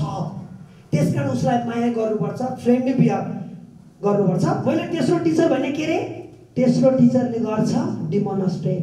पहिलोले टक एक्सप्लेन टिच टक। दोस्रोले के गर्यो? एक्सप्लेन त्यसको लागि वाइ भन्यो। तेस्रोले के गर्यो? डिमोन्स्ट्रेट मोडल बनाएर देखाइदियो। चौथोले के गर्ला? त्यो नानी सजिलो उसले इनलाइट गर्छ। दिलको बत्ती बाल्छ। हामी पढाउँछौँ म्याथमेटिक्स पढाउँछौँ सोयल मेकानिक्स पढाउँछौँ एप्लाइड मेकानिक्स पढाउँछौँ तर हामीले उसको लाइफ पढाइदिनुपर्छ क्या। What is wrong what is right तिमीले यो गोला हान्दा कहाँ पुग्छौ नहान्दा कहाँ पुग्छौ तिम्रा पछाडि कतिजना छन्? आमापट्टि बाउपट्टि काकापट्टि हेर्ने भने त एउटाजना स्टुडेन्टको हन्ड्रेड टू हन्ड्रेड थ्री हन्ड्रेडजना उसको झुन्डेको हुन्छ। पर्फेक्ट इन्जिनियर बन्यो भने त्यति मान्छे पक्याउँछ हेर बाबु यसो तिमीले आमाले खुवाएको दुधको भाडा त तिर भनेर जब राखेर उसलाई क्रिपमा हामी स्टुडेन्ट प्रेजेन्स त एनै के नै गर्छौँ। अहिलेको इन्भाइरोमेन्टमा त स्टुडेन्ट प्रेजेन्स नै हुँदैन। है क्लासमा तर स्टुडेन्ट मात्र प्रेजेन्सले पुग्दैन। उसको मनलाई प्रेजेन्स गराउन सक्नुपर्छ। उसको मनलाई क्लासमा प्रेजेन्स गराउन सक्नुपर्छ। त्यो मेथोडोलोजी टिचिङ मेथोडोलोजी होला। त्यो पनि सम्भव छ? भन्दा छ। तर गाह्रो छ हजुर। यदि सजिलो भएको भए यो संसार संसार हुन्थेन यस्तो नाटक हुन्थेन दुनियाँभर द्वन्द्व हुन्थेन सुसाइड र बम्बार्डिङ हुन्थेन गाह्रो कुरा त्यही हो तर त्यो सम्भव छ छ छ। त्यसको लागि म परमात्मा जोड्छु सरी ढुङ्गा पूजाको कुरा नगर्नुहोस् म धर्म प्रचार गर्न आएको होइन। तर भन्नुभएको छ परमात्माले मानिसलाई विचार बल नामक अद्भुत वस्तु दिनुभएको छ जसको सही प्रयोगले मान्छे ईश्वर हुन्छ। ईश्वरको डेफिनेसन के? यो तपाईँहरूको क्वेसन मैले एन्सर दिन्छु। ईश्वर भनेको जसले अर्को भन्दा एक्स्ट्रा अर्डिनरी अद्भुत अरूलाई मोटिभेट गर्ने सही बाटो देखाउने काम गर्छ। अरूलाई लडाउने थिचार्ने भुत्कार्ने होइन है। त्यो चाहिँ ईश्वर हुन्छ। हिजो राम श्याम कृष्ण ईश्वर थिए। अहिलेका साइन्टिस्ट डक्टर ईश्वर हो। यहाँ रिभोल्युसन ल्याउने देशलाई बनाउने एज ए कुनै नेता होस् अथवा प्रोफेसर होस् अथवा डक्टर होस् ईश्वर हो। वचन कर्म एकै ठाउँमा लगाउनुहोस्। दिलदेखि सोच्नुहोस् मैले पढाउन पाएँ आहा कति मजा आयो भेरी लक्की सोच्नुहोस्। मल्ले मुखले पनि भन्नुहोस् कर्मले पनि गर्नुहोस्। पढाउने स्टुडेन्टले के गरोस्? पढाउने स्टुडेन्टले मैले पढ्न पाएको छु आहा सर आउनु भएको छ हामीलाई पढाउन भन्ने फिलिङ जगाउनुहोस्। मैले भनेको थिएँ उसका मेन्टल प्रेजेन्स गराउनुहोस्। नाटक। किनभने यो स्टुडेन्ट आएका छन् कोही आएका छन् गएका छन् अथवा पढे पनि उसले मोबाइल चलाएको छ फेसबुक चलाएको छ बाहिर गएको छ ध्यान छैन। उसको आँखा हेरेर थाहा हुन्छ यो स्टुडेन्ट कति किलोमिटर टाढा पऱ्यो तर शिरदेखि पाउ हेर्दा। त्यो खालको अनुभव गर्न सकिन्छ। त्यसको लागि एउटै मात्र शर्त छ मनमा पाप हुनु हुँदैन हजुर। मनले स्वच्छ रूपमा बनाउँछु यसलाई भन्यो भने गुन्डा गर्ने स्टुडेन्ट गर्ने पनि गुन्डा गर्दैन। पहिला उसलाई माया गरेर फ्यामिली बिहेभले बाबु तिम्रा के कसो सबै सोध्दै खोज्दै गरिसकेर ढाप मारिसकेर जब माया गरेर पढाउँछ नि म गर्छु। एक दिन बिरामी बिरामी भयो ठिक छ। आऊ अर्को दिन म सिकाउँछु। म यसो गर्छु। अब माया मैले भने धेरै कुरा व्याख्या गरिनँ। गरिसकेपछि त्यसले दादागिरी गर्ने अनि सरी तेह्र कपाल सर ठोक्नु सक्छु तेह्र बाउला बोला गर्छु टिचरले हैसियत हो। म्यानेजमेन्टले केही गर्न सक्दैन। सरी। यदि अहिले सरले भनेको धेरै कुरा मलाई याद आयो यदि हामी साँच्चीकै संस्था बनायौँ भने हामी भन्छौँ त्यो ग्यारेन्टेड त्यसको लागि क्याटलिस्ट भनेको कलेजको म्यानेजमेन्ट क्याटलिस्ट केमिस्ट्री पढ्ने दाजुभाइ तिनीहरू दे क्याटलिस्ट अब यतापट्टि घरको म्यानेजमेन्ट त्यो पनि क्याटलिस्ट हो। डेरा कहाँ राख्ने कसरी राख्ने उसको त्यो पनि क्याटलिस्ट भयो। इट इज द एजुकेसन यो action between student and teacher तर टिचरले आफू इनलाइट भयो मैले लास्ट भनेको थिएँ नि है फेरि विलियमको बत्ती बालिदिने हो दिलको बत्ती बाल्ने उसका खोलिदिने सबै सब्जेक्ट हुन्छ तर यो गरेपछि के हुन्छ कहाँ पुगिन्छ भने बत्ती बाल्ने काम गर्नुपर्छ। बत्ती बाल्नलाई त बत्ती चाहियो नि कुनै उद्घाटन जाँदा पानसले बत्ती बालेर उद्घाटन गरिन्छ होइन? गर्दा त एउटा बाल्ने पानस त चाहियो नि सर। त्यसै कारण पहिला आफ्नो दिलको बत्ती बाल्नुपर्छ। स्टुडेन्टलाई पढाउनलाई मैले हात जोडेर म्यानेजमेन्टका हाम्रा एमडी सरसित कुरा गरेँ। पहिला यस्ता खालका प्रोग्राम राखेर हामी टिचरहरू बालिनुपर्छ यसको अर्थ यो होइन हिताल सर ठुलो मान्छे हजुरहरू सानो मान्छे हुँदै होइन। म हजुरहरूभन्दा बिल्कुल सानो मान्छे ठुलो मान्छे होइन। तर कुण्ड कुण्ड पानी मुन्ड मुन्ड बुद्धि भने चाहिँ यो आइडिया सेयरिङ हो मलाई लाग्छ। भएका रुद्र सरका कुरा सेयरिङहरू आए एउटा लियो होइन? किनभने नो वान इज पर्फेक्ट यो त कालको लोक हो। यहाँ पर्फेक्ट हुनुभएको भए यो द्वन्द्व हुन्थेन चाहिन्थ्यो? चाहिन्थेन। म पोलिटिसियन पनि होइन धर्मको ठेकदार पनि होइन तर एउटा मास्टर हो मास्टर किनभने बिस वर्ष पढाएँ इन्जिनियरिङ क्याम्पस पुल्चो क्याम्पसमा हेरेँ। नसोच्नुहोस् हिल साइडका स्टुडेन्ट भनेका यहाँका दोस्रो दर्जाका नराम्रा अहिले मैले भनेको थिएँ नि अमन्त र मसेर नास्ति नास्ति नास्ति बोलाउँछु त भन्छ होइन सरी। त्यति बेला अलि अल्छी गरेँ नम्बर अलिक कम ल्याएँ त्यता गएर नि यता आएँ। मान्छे उयो म भन्छु हामी कहाँ यहाँ घरको म्यानेजमेन्ट ठिक कलेज म्यानेजमेन्ट ठिक तर टिचर सुस्त के अरे स्टुडेन्ट सुस्त मनस्थितिको हुँदै होइन टिचर पनि सुष्ट मनस्थितिको होइन. टिचरलाई मैले पनि भनेको छु म दोस्रो दर्जाको स्टुडेन्ट भन्दा आई एम लोवर ग्रेड कुरो बुझ्नुभयो? स्टुडेन्ट पनि टिचर पनि सुस्त मनस्थितिको होइन स्टुडेन्ट त हुनै होइन they are very smart than us त्यसकारण के सोचौँ त? अन्त उनीहरूको मनलाई क्लासमा प्रेजेन्स गराउने गरी हाम्रो काउन्सिलिङ मोटिभेटिङ गर्नुपर्छ। म त क्लासमा छिर्ने बित्तिकै मेरो परिचय दिन्छु। जति मार्कर घोटे पनि जति मार्कर घोटे पनि जति पैसा पोखे पनि जति मार्कर घोटे पनि ब्याग चाहिँ लाग्ने नै भयो यो मन त्यसै रुने नै भयो। मैले मैले यो तिमीहरूको लागि होइन विगतकाहरूलाई भन्छु। किनभने उहाँहरू नराम्रो होइन। उसको दिमाग यति चिज भरियो नि ह्याङ्की प्याङ्की नाटकले भरियो। अब हिरो हिरोइनको नाम घोक्न पऱ्यो भने सौवटाको भनिदिन्छ बाबा मलाई त एउटा पनि आउँदैन। है तर एजुकेसन म्याटर आउँदैन वाइ उसको दिलले काम गरेन। मुखले भन्यो पढ्छु। कर्म ढिलो छ। उसको डेरा कहाँ छ? प्रिन्सिपल साहबसित फर्के। काउन्सिलिङ कसरी गर्ने? तेरो डेरा कहाँ छ? सपोज त्यो सातो बाटोको दोहोरी रेस्टुरेन्टको आडामा छ। उसले भन्यो सरी बाबु तिमीलाई म खोजिदिन्छु। It is the duty of principal and management भन्दैछु म। किनभने तिम्रो डेरा खोजिदिन्छु त्यहाँ होइन बाबा। कुनै कलेज पढ्ने सुकै यता सर तिमी। किन? सबैजना दोहोरी नाचिरहेको छ छाउछाउ बियर खाएर उसलाई पढ्न मन लाग्छ त बिचरा। मान्छेको मन त हो नि। यसो धेरै कुरा छन्। म अहिले धेरै डिस्टर्ब गर्न चाहिनँ यति मात्रै कुरा सोध्नुहोस्। If you are positive you can do many many things तर वी मस्ट बी पोजिटिभ त्यसको लागि मनमा पाप लिने बित्तिकै के भन्छ? यो मनले है? यो मनले भन्छ उही सरले भनिसक्नु भएको छ है? यो मनले भन्छ। मुखले भन्छ शान्ति समृद्धि एजुकेसन विकास सिद्धियो ठिक छ एउटा फोर्सले यता तान्यो। बुझ्नुभयो होइन सर? लजिक देखाउँदैछु। ल्याबोरेटरी भनेको हाम्रो नेता देशका राजनीतिलाई देखाइदिन्छु। ल्याबोरेटरी उनका बखान गरेर मलाई पाप बोक्नु छैन। किनभने त्यसले मुखले भन्छ शान्ति समृद्धि विकास सर्टिफिकेट इन्जिनियर पर्फेक्ट इन्जिनियर यहीँको कुरा गरेँ ओके ओके मुखले ठिक छ। नो प्रब्लम एउटा फोर्सले एकतिर तान्यो। लेट अब अर्को के भन्छ? मुखले भनिसकेपछि मनले भन्छ अब मनले त अब यता नेतातिरको त कुरा नगरौँ उसले त यसलाई नपछारि किनभने perfect engineer civil engineer electrical engineer बन्न चिने जोक्स हो। तर फेरि फलामको चिउरा होइन है। हजुरहरूले भन्नुपर्छ उनीहरूलाई ग्रिपमा राख्नुपर्छ हल्काउनुपर्छ तर फेरि ढाडस के दिनुपर्छ भने फलामको चिउरा हो भनेर हरेस काजीले सिद्धि गर्नु पोहोर मैले पढिनँ गर्न सकिनँ गरिनँ। गरिनँ। मैले गडबड भयो तर मैले गरेपछि म को भन्दा पाउँछु? हात ठिक छन् खुट्टा ठिक छन् मान्छेले मुखले लेखे? हो देख्नु भएको छ। खुट्टाले लेखे देख्नु भएको छ। तर हेलन केलरको हिस्ट्री पढिसक्नु भयो होला। हाम्रा यहीँका विद्यार्थी नेताहरूको झमक कुमारीको पनि सुनिसक्नु भयो होला। के उहाँहरू त त्यो अवस्थामा फेरि उहाँहरूलाई मैले अपाङ्ग भनेर अवहेलना गर्न खोजेको होइन। सरी तर तिमीहरू त के छ त? तिम्रा हात ठिक छन् खुट्टा ठिक छन् मुख ठिक छन् नाक ठिक छ के चाहिँ कमजोर छ? छैन। अनि किन आउँदैन? भन्दा त एउटै रिजल्ट छ उसको मन त्यहाँ छैन छैन छँदै छैन। नाटक गर्न कलेज आयो त्यो दोष कसको? हाम्रो पनि। यदि स्टुडेन्टले नाटक गर्छ भने माया नगरी पिट्ने अधिकार त छैन पहिल्यै मैले भनिसकेँ। हजुर त्यस कारण माया गर्ने फकाउने फुलाउने बाबु गर नगर उही हजुर आमाले खुवाएको जस्तो भात खुवाउने? माया लोभ गर्ने होइन लभ गर्ने। म त भन्छु फेरि नसोच। केटाकेटीको लभ दिस इज ओन्ली लोभ नट द लभ कुरा बुझ्नु पर्ने? किनभने उनीहरूले भन्छन् किनभने हजुर बाउले बिहा गरे तिम्रो बाउ जन्मे तिमीले तिम्रो बाउले मेरो तिमी जन्मे यो कुरो के लुकाउनु कुरो हो केटाकेटी त हजुर मैले भएको कुल्चो क्याम्पसको एक्जाम्पल हो चाहिन्छ यो कुराहरू अन्यथा नसोचिदिनु होला किनभनेदेखि उनीहरूको यस्तो छ कि पढाउन गयो एसेसमेन्टमा फेल है के भएछ सोधेँ मैले फेरि बिचरा गरी खाओस् होला बिरामी भयो होला सर भनेपछि अहिले यहाँ कुरा कुरो आएन भर्सा त मार्न त हामी आएको होइन टिचरलाई बिगार्ने अधिकार छैन सरी बनाउन आएको बनाउन कहाँनिर आएको तर यसमा जति गर्व कोही छैन।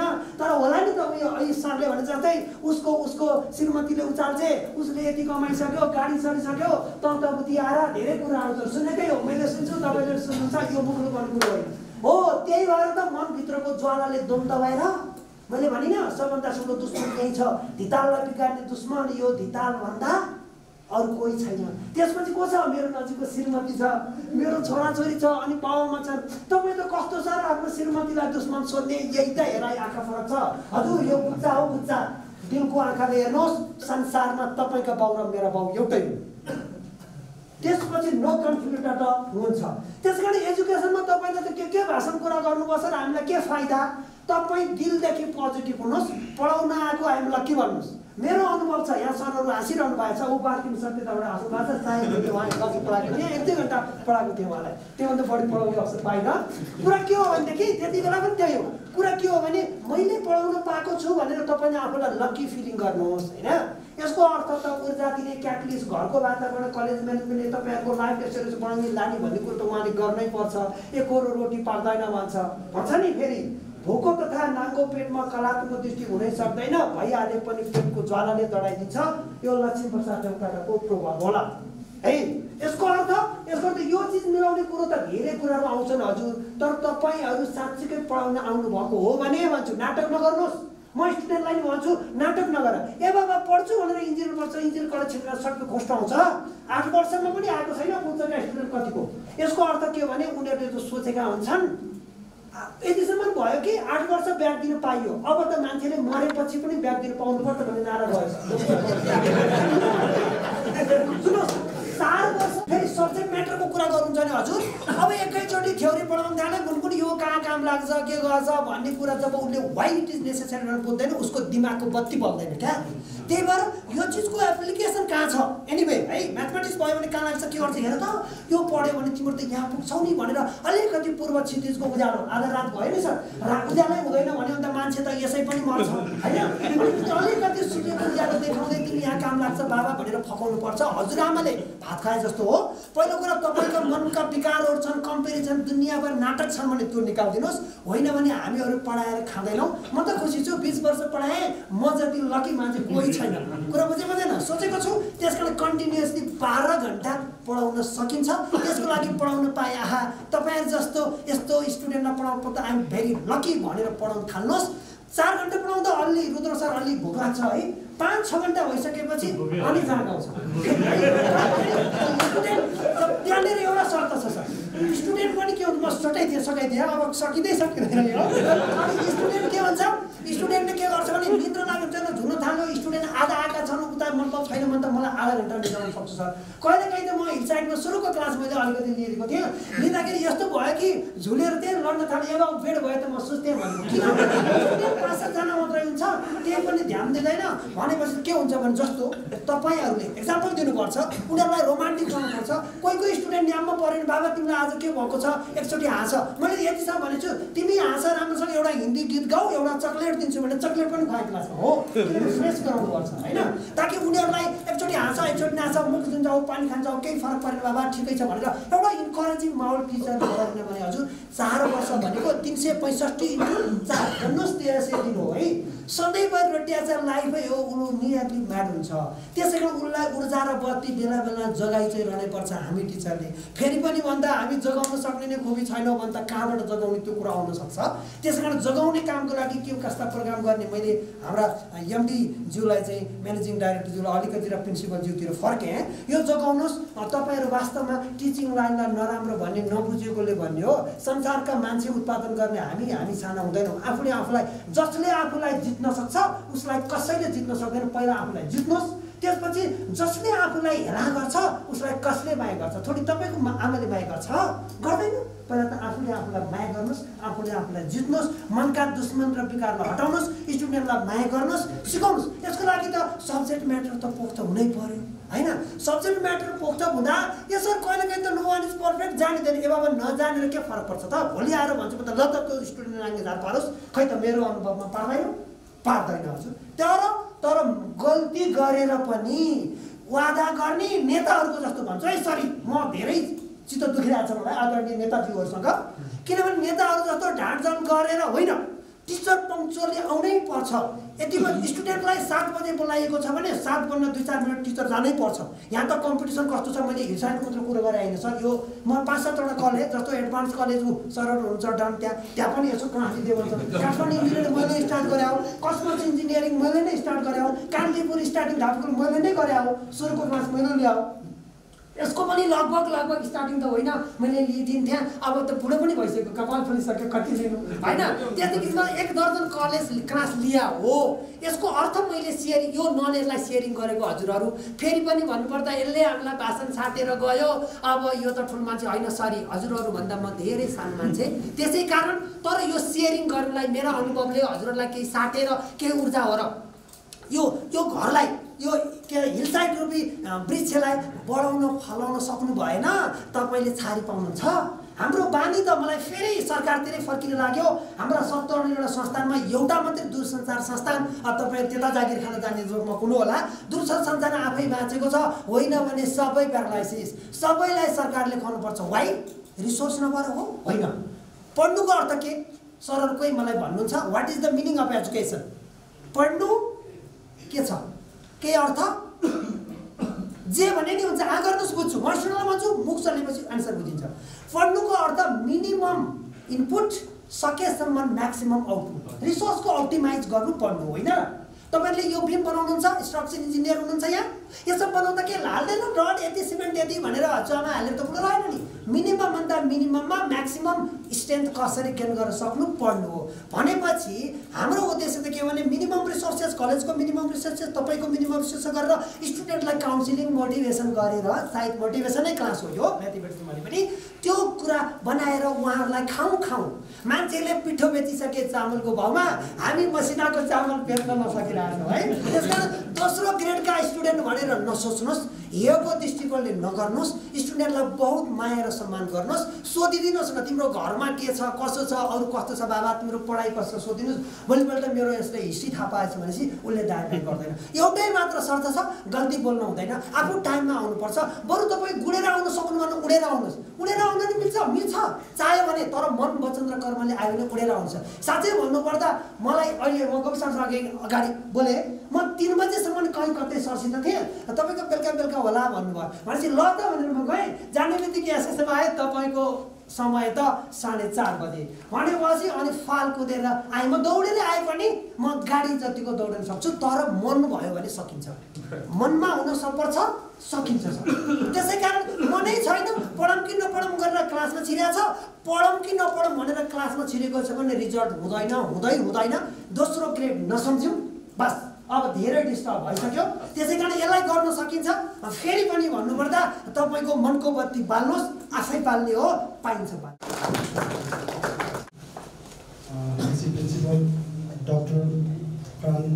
इन्जिनियरिङ एजुकेसनमा स्पेसली अन्डर ग्रेजुएट इन्जिनियरिङ एजुकेसनमा चाहिँ हामीले टिचिङ एज अ टिच आफूलाई टिच एज अ टिचर भन्दा पनि म एज अ फेसिलिटेटर भन्छु आफूलाई। टिचर भन्दिनँ म म टिचर होइन त्यसलाई कसरी हामी टिचिङ प्रोफेसनमा हामी एज एकाडेमिसियन चाहिँ हामीले काम गर्दाखेरि के के कुराहरूमा ध्यान दिनुपर्छ त? जसले गर्दा टिचिङ लर्निङ इन्भाइरोमेन्ट चाहिँ राम्रो होस्। सो अघि नै पनि यो आइसकेको छ टिचिङ इज द आर्ट भनेर एन्ड साइन्स यो यो यो एकदमै इम्पोर्टेन्ट छ कि अघि नै भने हामी आर्टिस्टहरू हौँ कहिलेकाहीँ के हुन्छ भन्दाखेरि एउटा क्लासमा गएको डेलिभरी टेक्निक्स त्यही ठिक हुबहु अर्को क्लासमा जाँदाखेरि चाहिँ के हुन्छ भन्दा पुरै फ्लप। त्यो भएको मैले धेरै देखाएको छु। जस्तै म एउटा इक्जाम्पल दिन चाहन्छु। हामीले एउटा यो कम्प्युटर सी प्रोग्रामिङको लागि किन हामी म एज अ डिपार्टमेन्ट हेड हुँदाखेरि हामीले सी प्रोग्रामलाई चाहिँ यो टियुबाट फाइभ इयर्स एक्सपिरियन्स सरलाई हामीले एज अ पार्ट टाइमको रूपमा बोलाएको थियौँ। त्यसपछि हाम्रो तिनवटा ग्रुप थियो सिभिलको फ्याक तिनवटा ग्रुप दुईवटा ग्रुपलाई उहाँ उहाँलाई दियौँ र एउटा ग्रुपमा चाहिँ हामीले भर्खरको फ्रेस ग्रेजुएटलाई हामी दिएका थियौँ।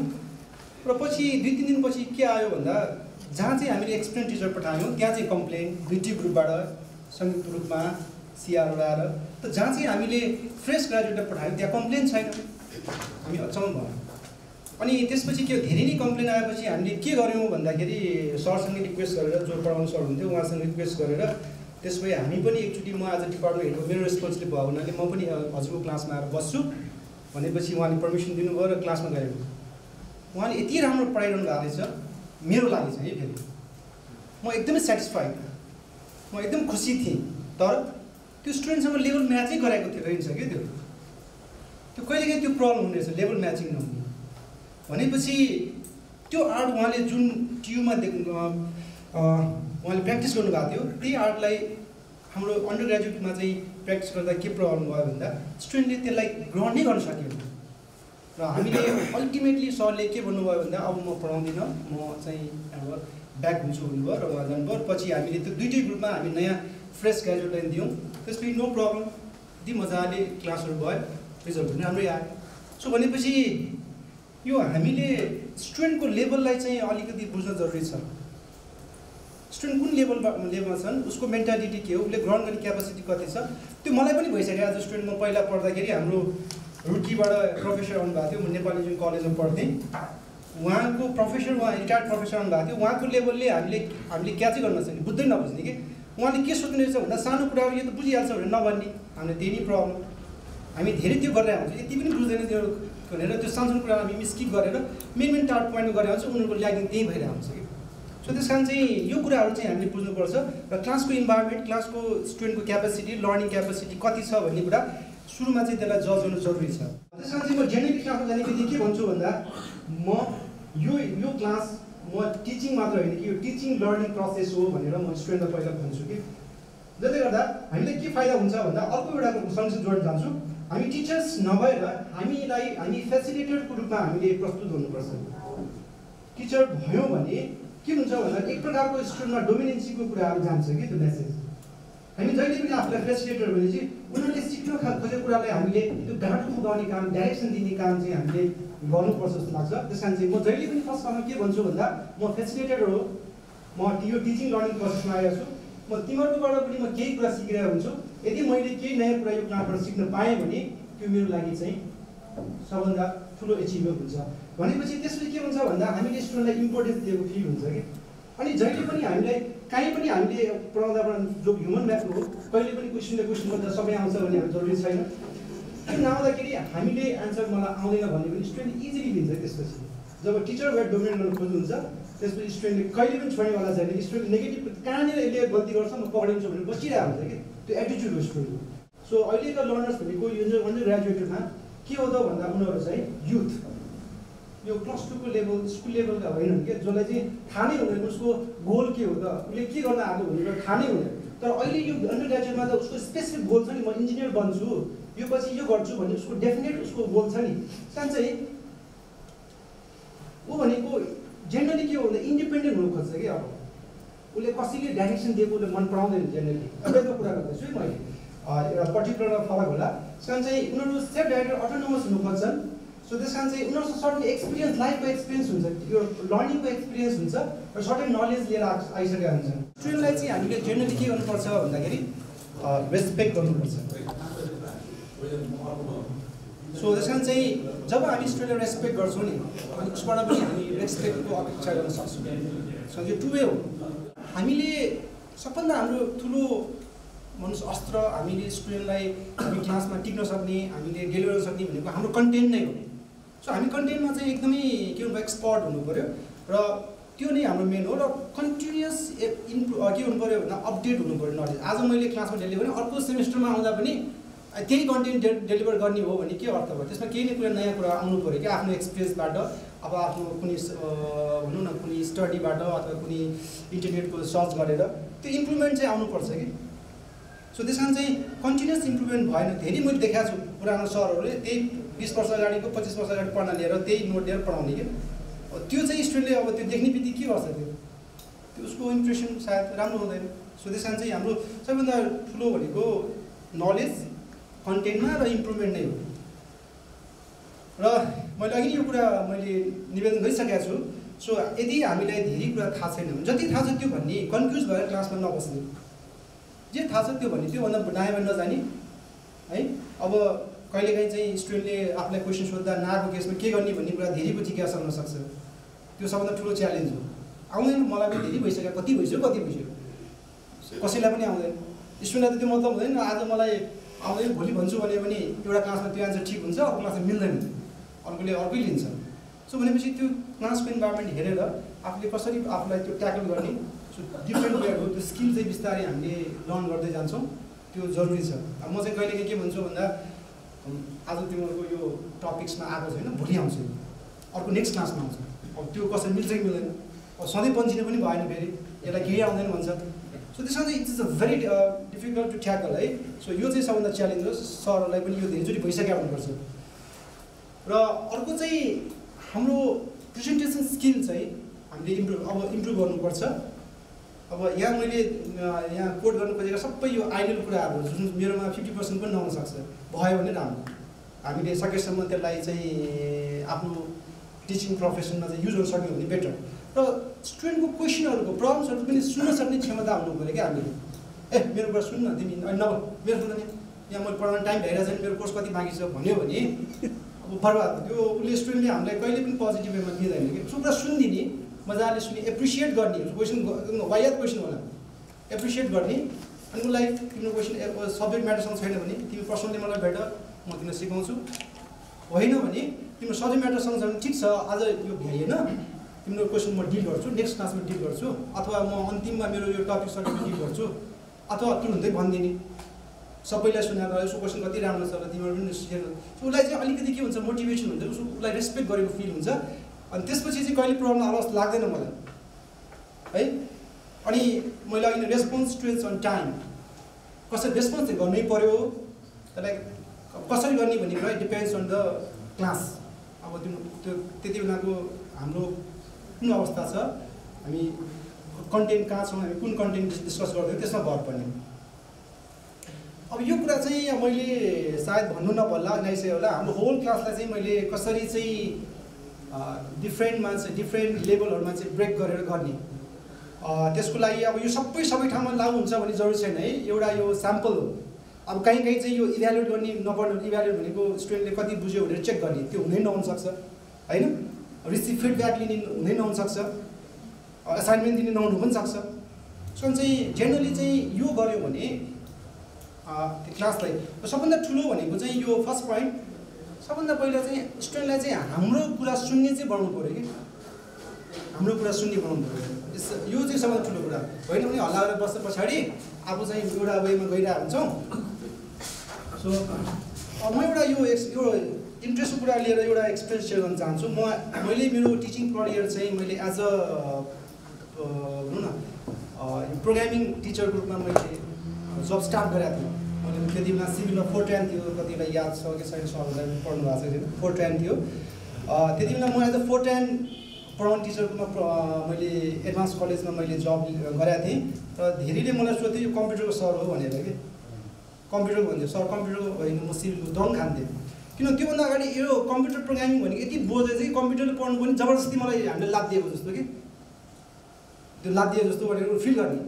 अनि मैले यति धेरै इक्जाम्पलहरू दिएर चाहिँ यो जति कम्प्युटरलाई जति इलेक्ट्रोनिक्सलाई यो प्रोग्राम इम्पोर्टेन्ट छ त्यति नै हामीले छ भनेर मैले डिफ्रेन्ट एङ्गलबाट जस्तै बिम डिजाइन सिक्नुसक्छ बिम डिजाइन गर्दा हामी प्रोग्रामिङ आफ्नो डेभलप गर्न सक्छौँ आफ्नो प्रोग्राम भयो भने आफै इन्डिपेन्डेन्ट हुन सक्छौँ। सो वाटर फ्लो एनालाइसिसहरू होइन जुनसुकै फिल्डमा पनि युटिलाइज गर्न सकिन्छ भनेपछि उनीहरूले उनीहरूको ज्ञान दिमाग त्यसपछि उनीहरू अलिक के भयो भने इन्ट्रेस्ट जागे। भनेपछि यो कुराहरू चाहिँ जरुरी छ। हामी जुन टपिक्स डिल गर्दैछौँ त्यसको इम्पोर्टेन्स चाहिँ हाम्रो यो फिल्डमा चाहिँ यहाँनिर छ है। भनिदिएपछि अलिकति इन्ट्रेस्ट जाग्छ र त्यसलाई सिरियसली पढ्ने थाल्छ। त्यति बेलाको एक्सपिरियन्स सायद मेरो अलिकति मेरो अलि एउटा धारणा छ सायद सरहरूलाई अलिकति अरू इन्जिनियरिङभन्दा फरक सरलाई अलि अपच्य हुनसक्छ अथवा उहाँहरूलाई त्यस्तो भनौँ त्यो उहाँहरूले मान्नु नहुन सक्नुहुन्छ। तर यसको मतलब मैले उहाँहरूको उ गर्नु खोजेँ होइन कि जेनरली इन्जिनियरिङसँग एप्लिकेबल हुन्छ जस्तो सब्जेक्टहरू मैले प्रोग्रामिङ भने अनि त्यसपछि न्युमेरिकल मेथड्सहरू त्यो प्योरली जुन सिभिलको क्लासमा पनि सिभिलकै टिचरले कम्प्युटर छ नि कम्प्युटर टिचरले इलेक्ट्रोनिक्स टिचरले पढायो भने के फाइदा हुन्छ भन्दाखेरि प्र्याक्टिकल एप्लिकेसन डाइरेक्टली लिङ्क गर्न सकिन्छ कि? त्यसपछि स्टुडेन्टलाई इन्ट्रेस्ट बढी जाग्छ। तर तर न्युमेरिकल पढाउने कुरामा चाहिँ म्याथमेटिसियनभन्दा बेटर अरू हुन सक्दैन। यदि कोर कुरा गर्ने हो भने। हामी त्यसमा कमी हुन्छ। तर पनि स्टुडेन्टलाई बुझाउने कुरामा चाहिँ त्यतातिर बढी एप्लिकेसनतिर जोड्न सक्यो भने बढी इफेक्टिभ होला जस्तो लाग्छ मलाई। हाम्रो इङ्गेजमेन्ट चाहिँ एकदम फुल्ली उनीहरूलाई हामी साँच्चै सिकाउन आएको हौँ है। तिमीहरूको लागि हो म हामी। भनेर फिल गर्नुपर्छ क्या हामीले। अनि उसले चाहिँ अलि यो सरको एप्रिसिएट गर्छ अनि उसलाई कुरा सुन्छ। सर टाइम पास गर्न आएको जब गर्न आएको हो। यसले यसको आफ्नो यसो लेख्यो नोट्स दियो भन्ने त्यस्तो फिल चाहिँ गराउनु हुँदैन। है? सो त्यसमा चाहिँ हामीले अघि नै भने म्युचुअल रेस्पेक्टफुल चाहिँ इन्भाइरोमेन्ट चाहिँ हामीले क्रिएट गर्नु जरुरी छ। र सकेसम्म हामीले धेरै टिचरहरूको चाहिँ बानी एउटा खराब बानी छ। मैले सबैलाई के भने पुरै टाइम युटिलाइज नगर्ने कि? जाँदा दस मिनट ढिला जाने आउँदा चाहिँ बिस मिनट अगाडि आउने दुई पिरियड क्लासमा। सो यो चाहिँ साह्रै खराब बानी। जेनरली कहाँ बढी हुन्छ भन्दाखेरि पार्ट टाइम सरहरू मैले स्ट्रिक्टली भने पार्ट टाइम सर यो पाँच मिनट खडकमा दुई ठाउँमा क्लास हुन्छ। अनि भ्याउँदैन। अनि चाँडै छोड्ने म त अलिकति म त खरो छु है यस कुरामा हामी पनि धेरै प्रयास गर्छौँ। म आफूले पनि गर्न गाह्रो भइरहेको छ। सो भनेको लेसन प्लानहरू डेभलप गर्ने हरेक क्लासमा म कतिसम्म कन्टिन्यू गर्छु। लेसन प्लान बनाइसकेपछि मलाई थाहा हुन्छ कि आज मैले कति भ्याएँ कति भ्याइनँ। नेक्स्ट सेमेस्टरलाई मेरो लागि त्यो के हुन्छ त भन्दा एउटा एसेट हुन्छ। मैले अर्को सेमेस्टरमा म कसरी क्लासहरू कसरी प्लान गर्न सक्छु। त्यो रेकर्डेड टिचिङ सिस्टमहरू भयो भने चाहिँ यसमा इभ्यालुएसनहरू पनि आउँछ सबै है। बेटर हुन्छ। र अलिकति हामीले क्लासलाई चाहिँ कहिले काहीँ बोरिङ गर्ने अलिकति ह्युमनाइज गर्ने अलिकति बोरिङबाट उनीहरूले निकाल्ने सर्टेन जोक्सहरू होला प्र्याक्टिकल एप्लिकेसनहरू होला आफ्नो एक्सपिरियन्सहरू सेयर गरेर हुन्छ कि? क्लास त अलिकति ह्युमनाइज गरेर अलिकति स्टुडेन्टलाई चाहिँ आफूतिर एट्र्याक्ट गर्नु खोज्ने। सो कहिले काहीँ हुन्छ त्यो। कन्टेन्ट यस्तो आउँछ कि खालि न्युमेरिकल पनि हुँदैन। एक वान साइडमा चाहिँ भन्नुपर्ने कन्टेन्टहरू कहिले काहीँ आउँछ त्यस्तो बेला चाहिँ त्यस्तो हाम्रो भोइसहरू अलिकति त्यो त भोइस कुरा भइहाल्यो। जसको सानो voice as a teach teacher भएर चाहिँ क्लासमा जानु कुनै उचित छैन। भोइस चाहिँ अलिकति हडेबल होइन? अलिक सुनिने खालको अलिक कमान्डिङ हुनु जरुरी छ। लर्निङ गर्ने डाइमेन्सन्सहरू हेरौँ अनि म इभ्यालुएसनतिर पनि जान्छु। सो डाइमेन्सन अफ लर्निङमा जेनरली दुईवटा डाइमेन्सन हुन्छ। यो नलेज डाइमेन्सन यो अलिकति अब बोरिङ हुनसक्छ है। यो अघि जस्तो रमाइलो नहोला। नलेज डाइमेन्सन र एउटा कग्नेटिभ डाइमेन्सन भन्ने हुन्छ। यो नलेज डाइमेन्सन भनेको हामी के नलेज चाहिँ दिँदैछौँ कस्तो खालको नलेज दिँदैछौँ त त्यो डाइमेन्सन भयो। अब कग्नेटिभ डाइमेन्सन भनेको त्यसलाई कसरी पर्सिभ गर्ने त? कुन कुन लेभलबाट कसरी पर्सिभ गर्ने त? त्यसको प्रोसिड्युर हो कि है सो नलेज डाइमेन्सनमा सो एउटा चाहिँ के हुन्छ? These are the four dimensions of knowledge एउटा फ्याक्चुअल म डिटेलमा यो आउँछु यो चाडमा। यो फ्याक्चुअल नलेज भनेको चाहिँ के हो त भन्दाखेरि हामीले के बुझ्नु? फ्याक्चुअल नलेज भनेको एउटा डेफिनेसन टाइप हो कि? यसको अब जस्तै मैले ब्रिज भने ब्रिजको एउटै मात्र के हुन्छ भन्दा त्यो भेहिकलहरू क्रस गर्ने त्यस्तो खालको है एउटा फ्याक्ट फ्याक्ट फ्याक्ट कुराहरू फोर्स फ्याक्ट हो क्या त्यो? त्यसलाई त्यो त्यसलाई सम्झिने हो कि मेमोराइज गर्ने चिज हो क्या त्यो? सो कुनै कन्सेप्ट हुन्छ त्यसलाई मेमोराइज गर्ने। त्यस्तो हो यो फ्याक्चुअल नलेज अर्को कन्सेप्चुअल नलेज भनेको अलिकति कम्प्लेक्स टाइपको जुन चाहिँ अलिकति कन्सेप्ट लुकेको हुन्छ प्रिन्सिपलहरू लुकेको हुन्छ। जस्तै मैले principle of conservation of energy भन्यो भने त्यो झ्याप्टो बुझिँदैन त्यसलाई अलिक एक्सप्लेन गरेर बुझाउनुपर्छ उसलाई कन्सेप्चुअल नलेज हो यो होइन? सेन्टर अफ ग्राभिटी के हो यो? अरूलाई त सेन्टर ग्राभिटी देखिने चिज होइन त्यो होइन? त्यो एउटा कन्सेप्चुअल पोइन्ट हो जहाँ चाहिँ हामी होल बडीको फोर्सलाई त्यहाँ कन्सन्ट्रेट गरेर राखिदिन्छौँ। सो त्यो कुराहरू चाहिँ कन्सेप्चुअल नलेज भयो अर्को भनेको प्रोसिडर नलेज जुन चाहिँ कुनै एउटा भनौँ न कुनै एउटा काम चाहिँ कम्प्लिट गर्नको लागि कुन कुन प्रोसेड प्रोसिड्युरबाट चाहिँ हामी जानुपर्छ? वाट आर द स्टेप्स जस्तै अहिले प्रोग्रामिङको सर हाम्रो बालकिन सर हुनुहुन्छ। सिभिल भवनमा मेरो सबै इक्जाम्पलहरू चाहिँ सिभिलसँग रिलेटेडहरू छन्। है त्यहाँ त्यहाँ मैले इक्जाम्पल भनेर। जस्तै मैले ट्रस्टको फोर्सहरू एप्लाइड ट्रस्टको फोर्सहरू निकाल्नु पऱ्यो भने there is there certain procedure सबै कन्सेप्ट र त्यो फ्याक्चुअल नलेज अनि कन्सेप्चुअल नलेजलाई युज गरेर हामी एउटा सर्टेन स्टेप्सहरूमा राखिदियौँ भने त्यो चाहिँ प्रोसिडियर नलेज भयो। यो चाहिँ अहिले यो डेफिनेसन किन दिएको छु भन्दा हामीले पछि स्टुडेन्टलाई जज गर्दाखेरि इभ्यालुएसन गर्दाखेरि यो सबै नलेजको टेस्ट हुने खालको क्वेसन पेपर बनाउनुपर्छ कि? त्यो भएन भने उसको ट्रु जज हुँदैन। त्यस कारण चाहिँ मैले एउटा डेफिनेसन मैले यहाँ दिँदैछु कि। हामी जेनरली के गर्छौँ भन्दा अहिले म क्वेसनतिर पनि आउँछौँ एउटा नलेज मात्रै टेस्ट गरेर हुन्छ कि? सबै न्युमेरिकल भनेपछि के भयो? त्यो कन्सेप्चुअल नलेज र फ्याक्चुअल नलेजको टेस्टै भयो कि सो त्यस कारण चाहिँ अहिले म त्यसमा आउँला। सो भनेको चाहिँ जस्तै मैले अघि इक्जाम्पल दिएँ। यो चाहिँ फ्याक्चुअल नलेज हो यो जस्तै फोर्स प्रेसर यसको डेफिनेसन प्यारामिटर युनिट जस्तै जीको भ्यालु चाहिँ अब सबैको लागि एउटै हुन्छ नि त्यो सम्झिनु पऱ्यो कि? This these are what we call remember or factual knowledge अब जेनरली क्वेसनहरू हामीले सेट गर्दाखेरि त्यो फ्याक्चुअल लेभल टेस्ट गर्दैछौँ भने त्यसमा वर्ड क्वेसनमा वो युजली वर्ड के हो define define pressure define friction अथवा अनि जस्तै लिस्ट यो यो ने यो जुन मैले नाम यहाँ राखेँ यो क्वेसनमा हुनु पऱ्यो क्या यो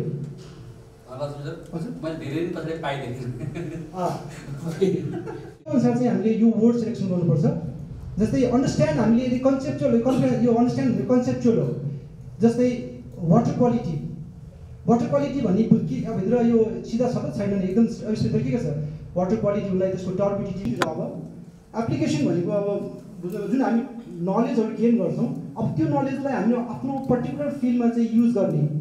जस्तै मैले हाइड्रो पावर जेनेरेसन भने हाइड्रो पावर जेनेरेसनमा हामी धेरै नलेज गेन गरेका नलेजहरूलाई त्यहाँ अब यो जस्तै बर्नलिज इनर्जी इक्वेसन होला मोमेन्टम इक्वेसनहरू होला कन्टिन्युटी इक्वेसन्सहरू होला होइन? धेरै नलेजहरूलाई अब हामीले एप्ली त्यो एप्लाई गर्ने फिल्ड हो एप्लिकेसन नलेज सो त्यसमा यस्ता खालको हाम्रो क्वेसन्सहरू हाम्रो छन् भने हामीले यी वर्डहरूले चाहिँ क्वेसनहरू सोध्नुपर्छ जस्तै एप्लाई कन्क्लुड कम्प्युट ड्र होइन determine so these are the words to be use to test the application knowledge अब एसेम्बल गरेर त्यसलाई युज गर्ने त्यो सबै प्रब्लमहरू आइडेन्टिफाई भयो एसेम्बल जस्तै डिजाइन अफ बिम यो बिमको डिजाइन गर्नु पऱ्यो भने अब सबै नलेजलाई अब एसेम्बल गरेर त्यसलाई युज गर्ने सो त्यसलाई करेक्ट वेमा चाहिँ त्यसलाई युज गर्ने त्यो चाहिँ सिन्थेसिस भयो अनि so these are the words क्वेसनको लागि हामीले सुने हामी गरेका छौँ डिजाइन भन्छौँ हामी कुनै डिजाइन भन्छौँ काहीँ चाहिँ क्रिएट भन्छौँ काहीँ कन्स्ट्रक्ट भन्छौँ है दिज आर द वर्ड्स ल लास्टमा चाहिँ इभ्यालुएसन यो इभ्यालुएसन भनेको चाहिँ अघि मेटाकग्निटिभ नलेज भने नि मैले यो अघि यो यो सिन्थेसिस एप्लिकेसन भनेको चाहिँ यो एप एप उस- उसको पऱ्यो अब यो इभ्यालुएसन भनेको चाहिँ मेटाकग्निटिभ नलेज हो कि?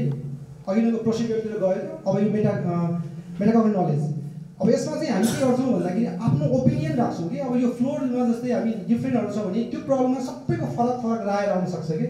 डिस्कसनबाट अनि त्यसबाट चाहिँ हामी बेस्ट भनौँ न बेस्ट डिस्कसनबाट आएको कुरालाई चाहिँ हामी एक्सेप्ट गर्छौँ। जस्तै damage assessment of building due to earthquake हामीले बिल्डिङहरू अब ड्यामेज भएको बिल्डिङलाई चाहिँ हामीले हेर्न गयौँ। कति ड्यामेज भएको छ यसलाई युज गर्न मिल्छ कि मिल्दैन। पाँचजना इन्जिनियर पाँचजना भ्यू पाँचवटा भ्यू आउन सक्छ क्या त्यसमा। यसो हेऱ्यो यो क्र्याक चाहिँ अलिक बढी जस्तो छ यसमा बस्न मिल्दैन क्या हो भन्छ उसले आफ्नो भ्यू राख्छ। अर्कोलाई यो त ठिक छ यो नर्मल ट्रिट गर्न सकिन्छ वी क्यान स्टे भन्छ उसले। सो त्यस कारण चाहिँ आफ्नो भ्यू राख्ने कि? मेटाकग्निटिभ नलेज हो कि यो। सो यो चाहिँ अलिकति अलिकति यो यस्तो खालको क्वेसनहरू एन्सर गर्न चाहिँ च्यालेन्जिङ हुन्छ स्टुडेन्टलाई होइन?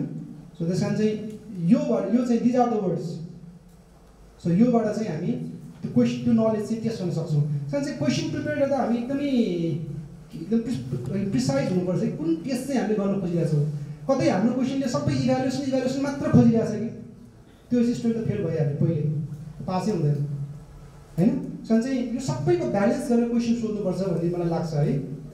सो स्टुडेन्टको इभ्यालुएसन गर्दाखेरि हामीले स्टुडेन्ट इभ्यालुएसन चाहिँ एकदमै हाम्रो के हुनुपर्छ भन्दा टु दि पोइन्ट एकदमै जे इभ्यालुएसन गर्नु खोजेको छ त्यसलाई टार्गेट गर्नुपर्छ हामीले.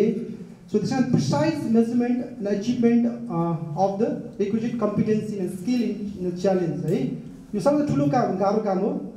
त्यसमा चाहिँ इभ्यालुएसन गर्दाखेरि सबभन्दा कुरा के हुनुपर्छ भन्दा भ्यालिडिटी हुनुपर्छ कि? हामीले के हो भने कन्टेन्ट भ्यालिडिटी हो। हामीले के चाहिँ उसको टेस्ट गर्न खोजिरहेको छौँ त? त्यो ठ्याक्कै त्यही टेस्ट हुने खालको क्वेसन बनाउनु पऱ्यो कि हामीले? कन्टेन्ट भ्यालिडिटी भन्छौँ हामीले। अब त्यो आजको क्वेसनमा चाहिँ त्यो उसको टेस्ट भयो तर भोलि अर्को टे जाँच हुँदाखेरि त्यो के हुन्छ त्यसको कन्सिस्टेन्सी हुनु पऱ्यो कि रियालिटी भन्छौँ हामी। भोलि हुँदा पनि उसको त्यही नलेज टेस्ट हुनु पऱ्यो त्यसमा रियालिटी पनि हुनु पऱ्यो कि। भनेको सधैँ एकै नाचको इभ्यालुएसन हुनु पऱ्यो भने उसको रियल जे गर्न खोजे हो त्यो हुनु पऱ्यो। कहिलेकाहीँ हुँदैन त्यो हामी त्यो क्वेसनहरूमा त्यस्तो देखिँदैन कहिलेकाहीँ अनि अब्जेक्टिभिटी भने अर्को भनेको हामीले जुन क्वेसनहरू बनाउनको जुन एक्जाम कन्डक्ट गर्न गइरहेको छौँ त्यो चाहिँ प्र्याक्टिकली एप्लाई गर्न हुने सकिने खालको हुनुपर्छ कि? एउटा म एकदमै स्ट्यान्डर्ड एक्जाम लिन्छु जुन चाहिँ म यो यो यहाँ चाहिँ गर्नै सक्दिनँ भनेपछि त्यसको कुनै युज भएन कि? सो त्यसमा प्र्याक्टिकली पनि त्यसलाई इम्प्लिमेन्ट गर्न सक्ने हुनु पऱ्यो र ट्रु जज हुने पनि हुनु पऱ्यो कि? सो मैले अघि भ्यालिडिटी कुरा गरेको थिएँ मैले यहाँ अलिकति डिस्क्राइब गरेको कुराहरू छ। सो त्यसमा चाहिँ भ्यालिडिटी टेस्ट गर्नको लागि सबैभन्दा बेटर चाहिँ के हुन्छ भन्दाखेरि क्वेसन प्रिपेयर गर्नुभन्दा अगाडि एउटा स्पेसिफिकेसन टेबल चाहिँ बनाउनु जरुरी छ कि? स्पेसिफिकेसन मैले हालि गरेँ स्पेसिफिकेसन टेबल भनेको चाहिँ त्यो जुन अघि नलेजहरू थियो नि चारवटा knowledge factual knowledge conceptual knowledge procedure knowledge metacognitive knowledge हुन्छ नि। अनि त्यो नलेज टेस्ट गर्ने पर्सिभ गर्ने जुन छवटा जुन स्टेजहरू थियो नि हो त्यसको एउटा टेबल हो कि कुन पोर्सनबाट कुन ठाउँबाट कति पर्सेन्टेज कति नम्बर क्वेसन सोधिन्छ। एउटा स्पेसिफिक टेबल हुनुपर्छ। अनि मात्र हुन्छ कि नभए सबैले के गरिदिन्छ भने यो च्याप्टरबाट आठ मार्क्स हुनेछ उसले त्यहीँबाट पनि गाह्रो हालिदिन्छ। अर्को च्याप्टरबाट पनि गाह्रो हालिन्छ अनि सबै गाह्रो गाह्रो पर्छ कहिले त्यसरी पनि स्टुडेन्टहरू फेल हुन्छ कि? त्यो ट्रु चाहिँ जज भएन। अनि अर्को भनेको रिलायबिलिटी मैले अघि भने सो रिलायबिलिटी भनेको अब यहाँ मैले देखाउने एक्सपेरिमेन्ट भन्दा सो भनेपछि त्यो रिलायबिलिटी सधैँ हुनु पऱ्यो कि? हिजो गर्दा पनि त्यसको त्यसमा आउने उसको आउटपुट आज एक्जाम गर्दा गर्दा पनि उसको आउटपुट र भोलि गर्दा पनि त्यसको आउटपुटमा धेरै डेभिएसन हुनु भएन कि एउटा व्यक्तिको। एउटा व्यक्तिको हिजो चाहिँ दस मार्क्स थियो आज चाहिँ एट्टी आयो फेरि अर्को चाहिँ zero so that is not the true जज है ट्रु जज भएन त्यो कारण चाहिँ यसलाई असर गर्ने पारामिटर्सहरू के के हो त भन्दा एउटा सबभन्दा ठुलो क्वेसन भनेको क्ल्यारिटी इन क्वेसन जस्तै क्वेसन बनाउँदा हामी के गर्छौँ सर्ट नोट्स भन्छौँ नि that is the worst question short notes अब मलाई वाटरको सर्ट नोट भने के लेख्छ एच टुओले एच टुओबाट बनेको हुन्छ अक्सिजन र हाइड्रोजन मिलेर बनेको हुन्छ भने ठिक भयो वाटर क्वालिटीको बारेमा लेख्यो भने ठिक भयो वाटर चाहिँ खोला बग्छ भने पनि भयो ट्याङ्कीमा राख्न सकिन्छ भने पनि भयो।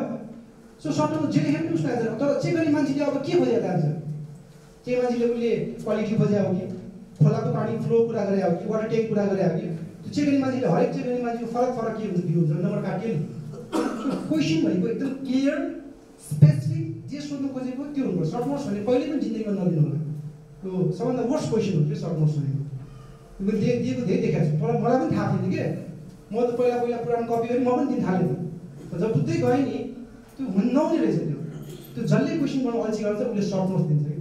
अल्छी गर्ने मान्छे। क्वेसन बनाउने अल्छी मान्छे मात्र दिन्छ अरूले कहिले पनि दिँदैन। र अर्को भनेको इकोनोमिक्स अब्जेक्टिभिटी मैले अघि मैले कुरा बायसनेस कुराहरू गरेको थिएँ। माइन्ड सेट हो कि एउटा क्वेसन बनाउनेको माइन्ड सेट कस्तो छ? उसले पास गर्ने माइन्ड सेटमा बनाउँछ कि? फेल गर्ने मान्छे बनाउँछ? यो बनायो भने स्टुडेन्ट गर्न सक्दैन भने डङ्ग पर्दै बनाउने। पहिले के उसलाई थाहा छ कि उसले स्टुडेन्टले दस पर्सेन्ट मैले गर्न सक्दैन। दस पर्सेन्टभन्दा बढीले गर्न सक्दैन भने पहिले गर्दा थाहा छ कि हामीले क्वेसन बनाइहाल्छ त्यसरी कि? मैले टिप धेरै क्वेसन जति राख्न सक्यो छोटो छोटो क्वेसन राख्ने टाइममा सकिने। त्यसले चाहिँ ट्रु जज गर्छ कि। बडी स्कोर पनि गर्न सक्दैन पास हुनु पनि गाह्रो हुँदैन। त्यस कारण यो जेनरली हामी देख्छौँ फिफ्टी फोर्टी मार्क्सको पेपरहरूमा फेल हुने रेट बढी चान्स एकदम रिस्क हुन्छ नि फोर्टी जस्तै हामीले सबैलाई मिलिसक्यो भनेको यो टिएस भन्थ्यो पहिला होइन? त्यसमा फेल हुने चान्स किन भयो हामी पढाउनु फेल हुन्थ्यो कि धेरै। किनभने त्यो क्वेसन थोरै आउँथ्यो। अलिकति एउटा त अब टेन्सन सुरु किन यो मल्टिपल धेरै क्वेसन भएकोमा त्यो प्रब्लम हुँदैन कि र अर्को भने difficulty level of question paper त्यो चाहिँ जेनरली के हुने गरेको छ भन्दाखेरि मैले देखेको मैले हामी एउटा क्वेसन सेट पठाइदिउँ अर्को सरले पनि पठाउनु भयो। चार चार पाँचवटा क्वेसन चाहिँ अब त्यहाँ एक्जाम सेक्सनमा गयो। अनि मोडेटरले चाहिँ त्यसलाई मोडेट गर्दा के गर्छ उसको माइन्ड सेटअप के छ त? फेल हुन्छ कि पास हुन्छ? फेल हुन्छ भने उसले सबै क्वेसनको गाह्रो गाह्रो हालेर ठ्याक्क राखिदिन्छ सबै त्यो चाहिँ ठुलो प्रब्लम छ क्या अहिले त्यहाँ चाहिँ हामीले क्वेसन एउटा राम्रो बनाएर पठाउँदा पनि मोडेरेटर गर्नेले चेन्ज गरिदियो भने त्यहाँ फेरि के हुन्छ ट्रु जज हुँदैन र कम्तीमा हामी त्यहाँ नपुगे पनि हाम्रो इन्टरनल इभ्यालुएसनमा त हाम्रो हातमा छ नि त्यतातिर त हामी कन्ट्रोल गर्न सक्छौँ नि सो यो कुराहरू चाहिँ हामीले गर्न सक्छौँ र सो रिलायबिलिटी मात्र भएर पुग्दैन त्यसको भ्यालिडिटी हुनुपर्छ जस्तै यो फिगरमा जस्तै हाम्रो टार्गेट सुट गर्दाखेरि रिलायबिलिटी त भयो नि कन्सिस्टेन्सी त आयो नि तर ठिक ठाउँ परेन कि? यो चाहिँ हुनु पऱ्यो कि टार्गेट पनि ठिक ठाउँ पर्नु पऱ्यो कन्सिस्टेन्सी पनि हुनु पऱ्यो कि त्यस कारण चाहिँ हाम्रो क्वेसनले चाहिँ यो कुरालाई चाहिँ फोकस गरेर हाम्रो क्वेसन प्रिपेरेसन हुनुपर्छ जस्तो लाग्छ मलाई। सो यो कुरा मैले अघि डिस्कस गरिसकेको छु है। यो अब स्पेसिफिक टेबल्स भनेको एकचोटि देखाउँछु है म। यो यो पनि कुरा भइसक्यो युजर प्र्याक्टिकली यो जेनरली हामीले लिन खोजेको एक्जाम कन्डक्सन चाहिँ के हुनु पऱ्यो भन्दा इकोनोमिकल वेबाट कन्डक्ट गर्न सक्नु पऱ्यो हामीले। त्यो कलेज म्यानेजमेन्टलाई पनि बर्डन हुनु भएन सकेसम्म होइन? र अर्को एडमिनिस्ट्रेसन पोइन्ट अफ भ्यूले पनि त्यो सजिलो हुनु पऱ्यो कन्ट्रोल गर्न सक्ने खालको हुनु पऱ्यो अनि अनि कहिले के हुन्छ? ल जस्तै भनौँ एउटा ओपन बुक जहाँ दियो भने ओपन बुक कन्डक्ट गर्ने। कहिले काहीँ त्यो कन्ट्रोल गर्न गाह्रो हुन्छ स्टुडेन्टलाई त्यो यति त्यो हल्ला हुन थाल्छ कि? त्यो कन्ट्रोल गर्न कहिले गाह्रो हुन्छ। अब त्यो सकिन्छ भने त्यसलाई कन्डक्ट गर्नु थ्रो थ्री ग्रुप राखेर कन्सेप्चुअल टेस्ट गर्ने अनि यो भनेको चाहिँ यो यो फर्स्ट ए भनेको चाहिँ यो मैले यसलाई पनि अझ ब्रेक गर्न सकिन्छ। इभ्यालुएसन भनेको चाहिँ मेटाकग्निटिभ नलेज भयो। अनि अनि यो हरेक नलेज त कति कति दिने भन्दाखेरि यहाँ मैले एउटा स्याम्पल स्पेसिफिक टेबल बनाएर ट्वेन्टी फोर पर्सेन्ट भनेको रिमेम्बर टाइप एकदमै डेफिनेसन कि? जसले पनि गर्न सक्ने। ट्याक्टर सोधे पनि गर्न सक्ने कि? अनि अन्डरस्ट्यान्ड अलिकति दिमाग लाउनु पर्ने र धेरै दिमाग लाउनु पर्ने यो फोर पर्सेन्ट त्यो किनभने हाई क्यालेन्डर स्टुडेन्टलाई पनि जज गर्नु पऱ्यो नि। हाम्रो क्वेसनले सबैलाई जज गर्नु पऱ्यो कि। र अहिलेको हाम्रो कहिलेकाहीँ के हुन्छ भन्दाखेरि धेरै फेभरेट विषयहरूमा यो खालको क्वेसन चाहिँ बढी देखिएको छ कि। सबै यही। एउटा दुइटा मात्रै यता कि? अनि फेल स्टुडेन्ट त कहाँ पास हुन्छ त? पहिले माइन्ड सेटकै प्रब्लम छ। उसलाई फेल गर्छु भनेर क्वेसन सेट गरिसकेपछि कहिले पास हुन्छ? अर्को चाहिँ अब एक्सटर्नल इभ्यालुएसनमा चाहिँ हाम्रो के के प्रब्लम छ भन्दाखेरि मैले यो अलिकति यहाँ जुन मैले अहिले पोइन्ट डिस्कस गरेर चाहिँ यो चाहिँ हाम्रो इन्स्टिट्युट मैले अब जति सक्छु त्यति कभर गर्छु अरू नसकेको चाहिँ म स्लाइड यहाँ लिनुहुन्छ भने म छोडिदिन्छु हाम्रो एक्सटर्नल इभ्यालुएसन प्रब्लम यो मैले यहाँ जुन यहाँ यहाँ गर्नु खोजेको छु त्यो चाहिँ एउटा वर्कसप हामीले यो इन्स्टिट्युट अफ इन्जिनियरिङले वर्कसप गरेको थियो डिफ्रेन्ट सब्जेक्ट यो फेल हुने सब्जेक्टहरूमा अनि त्यसमा गरेको वर्कसपबाट आएका आउटपुटहरू हुने। त्यहाँबाट आएको आउटपुटलाई मैले राखेको छु कि सबै होल सब्जेक्टहरूको जुन चाहिँ एडभान्स कलेज इन्जिनियरिङ कन्डक्ट गरेको थिएँ त्यसको चाहिँ यो आउटपुट हो। सो मैले अघि नै भने यो कुरा सबै डिस्कस भइसकेको छ। हुन त एक्चुली अहिले अहिलेको सबभन्दा प्रब्लम भनेको यही हो। Non फेमिटी and inconsistent copy checking र अर्को चाहिँ भनेको lack of copy checking guidelines guidelines छैन यो सबभन्दा ठुलो च्यालेन्ज किन क्वेसन सेटिङ भएपछि क्वेसन सेटिङ गर्ने मान्छेले सोल्युसन सहित दिनुपर्छ कि? माग्नुपर्छ भनौँ न अब दिनुपर्छ भन्दा मागेन भने के दिने? के आफू जान्ने भन्नुहुन्छ। सो यो माग्नुपर्छ र अहिले यसमा पनि यसमा गर्छु भनेर हाम्रो सरले त्यहाँ जो इक्जाम बोर्डर हुनुहुन्छ उहाँले भन्नुभएको छ अब हामी त्यो काम चाहिँ गर्छौँ भनेर। त्या- चाहिँ एकदम ठुलो राम्रो काम हुन्छ कि? दिज आर द प्रब्लम्स र हाम्रो जस्तो नेपाल कन्टेक्समा सबैभन्दा ठुलो प्रब्लम भनेको सबैको जड यही छ।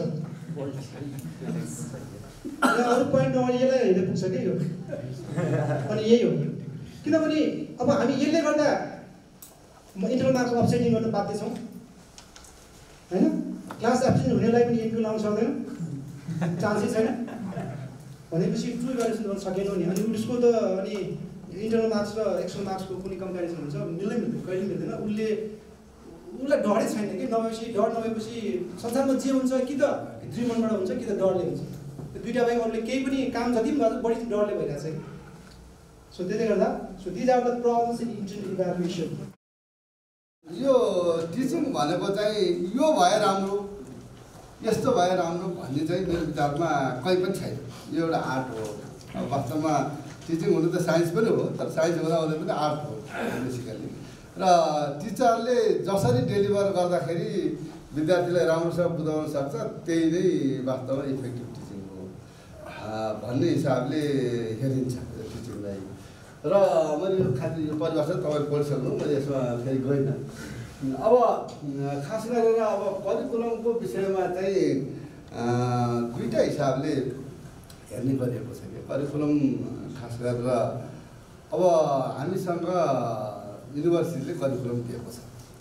करिकुलम बनाउँदाखेरि बेसिकल्ली के को आधारमा हुनुपर्ने हो भने नेसनल गोलहरू जुन छ नि अब हामीले अब इन्जिनियर उत्पादन गर्ने अथवा देशको जनशक्ति उत्पादन गर्ने एउटा नेसनल गोल छ। जसको निर्धारण चाहिँ हाम्रो कन्स्टिट्युसनले अलिकति गरेको छ यस्तो खालको। करिकुलम दिएको छ अब त्यो अनि एउटा करिकुलमभित्र एउटा सिलेबस भनौँ न हामीले चाहिँ पढाउने सिलेबसको हिसाबले हामीले ऊ गरिराखेको हुन्छौँ। र सिलेबसको चाहिँ जुन कुरा छ त्यसलाई चाहिँ अलिकति हामीले चाहिँ के हिसाबले बुझिराखेका छौँ भने यो जे छ त्यहाँभित्र भएको त्यति मात्रै भए हुन्छ भन्ने हिसाबले हामीले अलिकति उ गरिराखेका हुन्छौँ। तर के हुन्छ भने करिकुलमको चाहिँ अब यो जुन अब डिफाइन करिकुलम भनेर अब हामीले एउटा जुन करिकुलमको चाहिँ यो यो पढ्नुपर्छ भनेर हामीलाई दिएको छ। त्यो दिएको करिकुलमलाई वास्तवमा हामीले करिकुलमलाई चाहिँ यस किसिमले अलिकति हामीले हेर्न सकिन्छ अथवा चाहिँ खास गरेर त्यो डिफाइन्ड करिकुलमभित्र पनि अब हामीले के हो त त्यसको इन्टेन्सन इन्टेन्सन चाहिँ के हो भन्ने कुरा अझ राम्रोसँग चाहिँ बुझ्न सक्यो भनेदेखि अब विद्यार्थीले कस्तो अचिभ गर्नुपर्छ भन्ने कुरा हामीले त्यसबाट थाहा पाउन सक्छौँ। र त्यस्तै गरी चाहिँ अब अब करिकुलमभित्र पनि अब एक्सप्रेस भएको यो यो कुरा चाहिँ हुनुपर्छ भनेर भनियो। कतिपय कुराहरू चाहिँ त्यसमा इम्प्लाइड भएर आएको हुन्छ।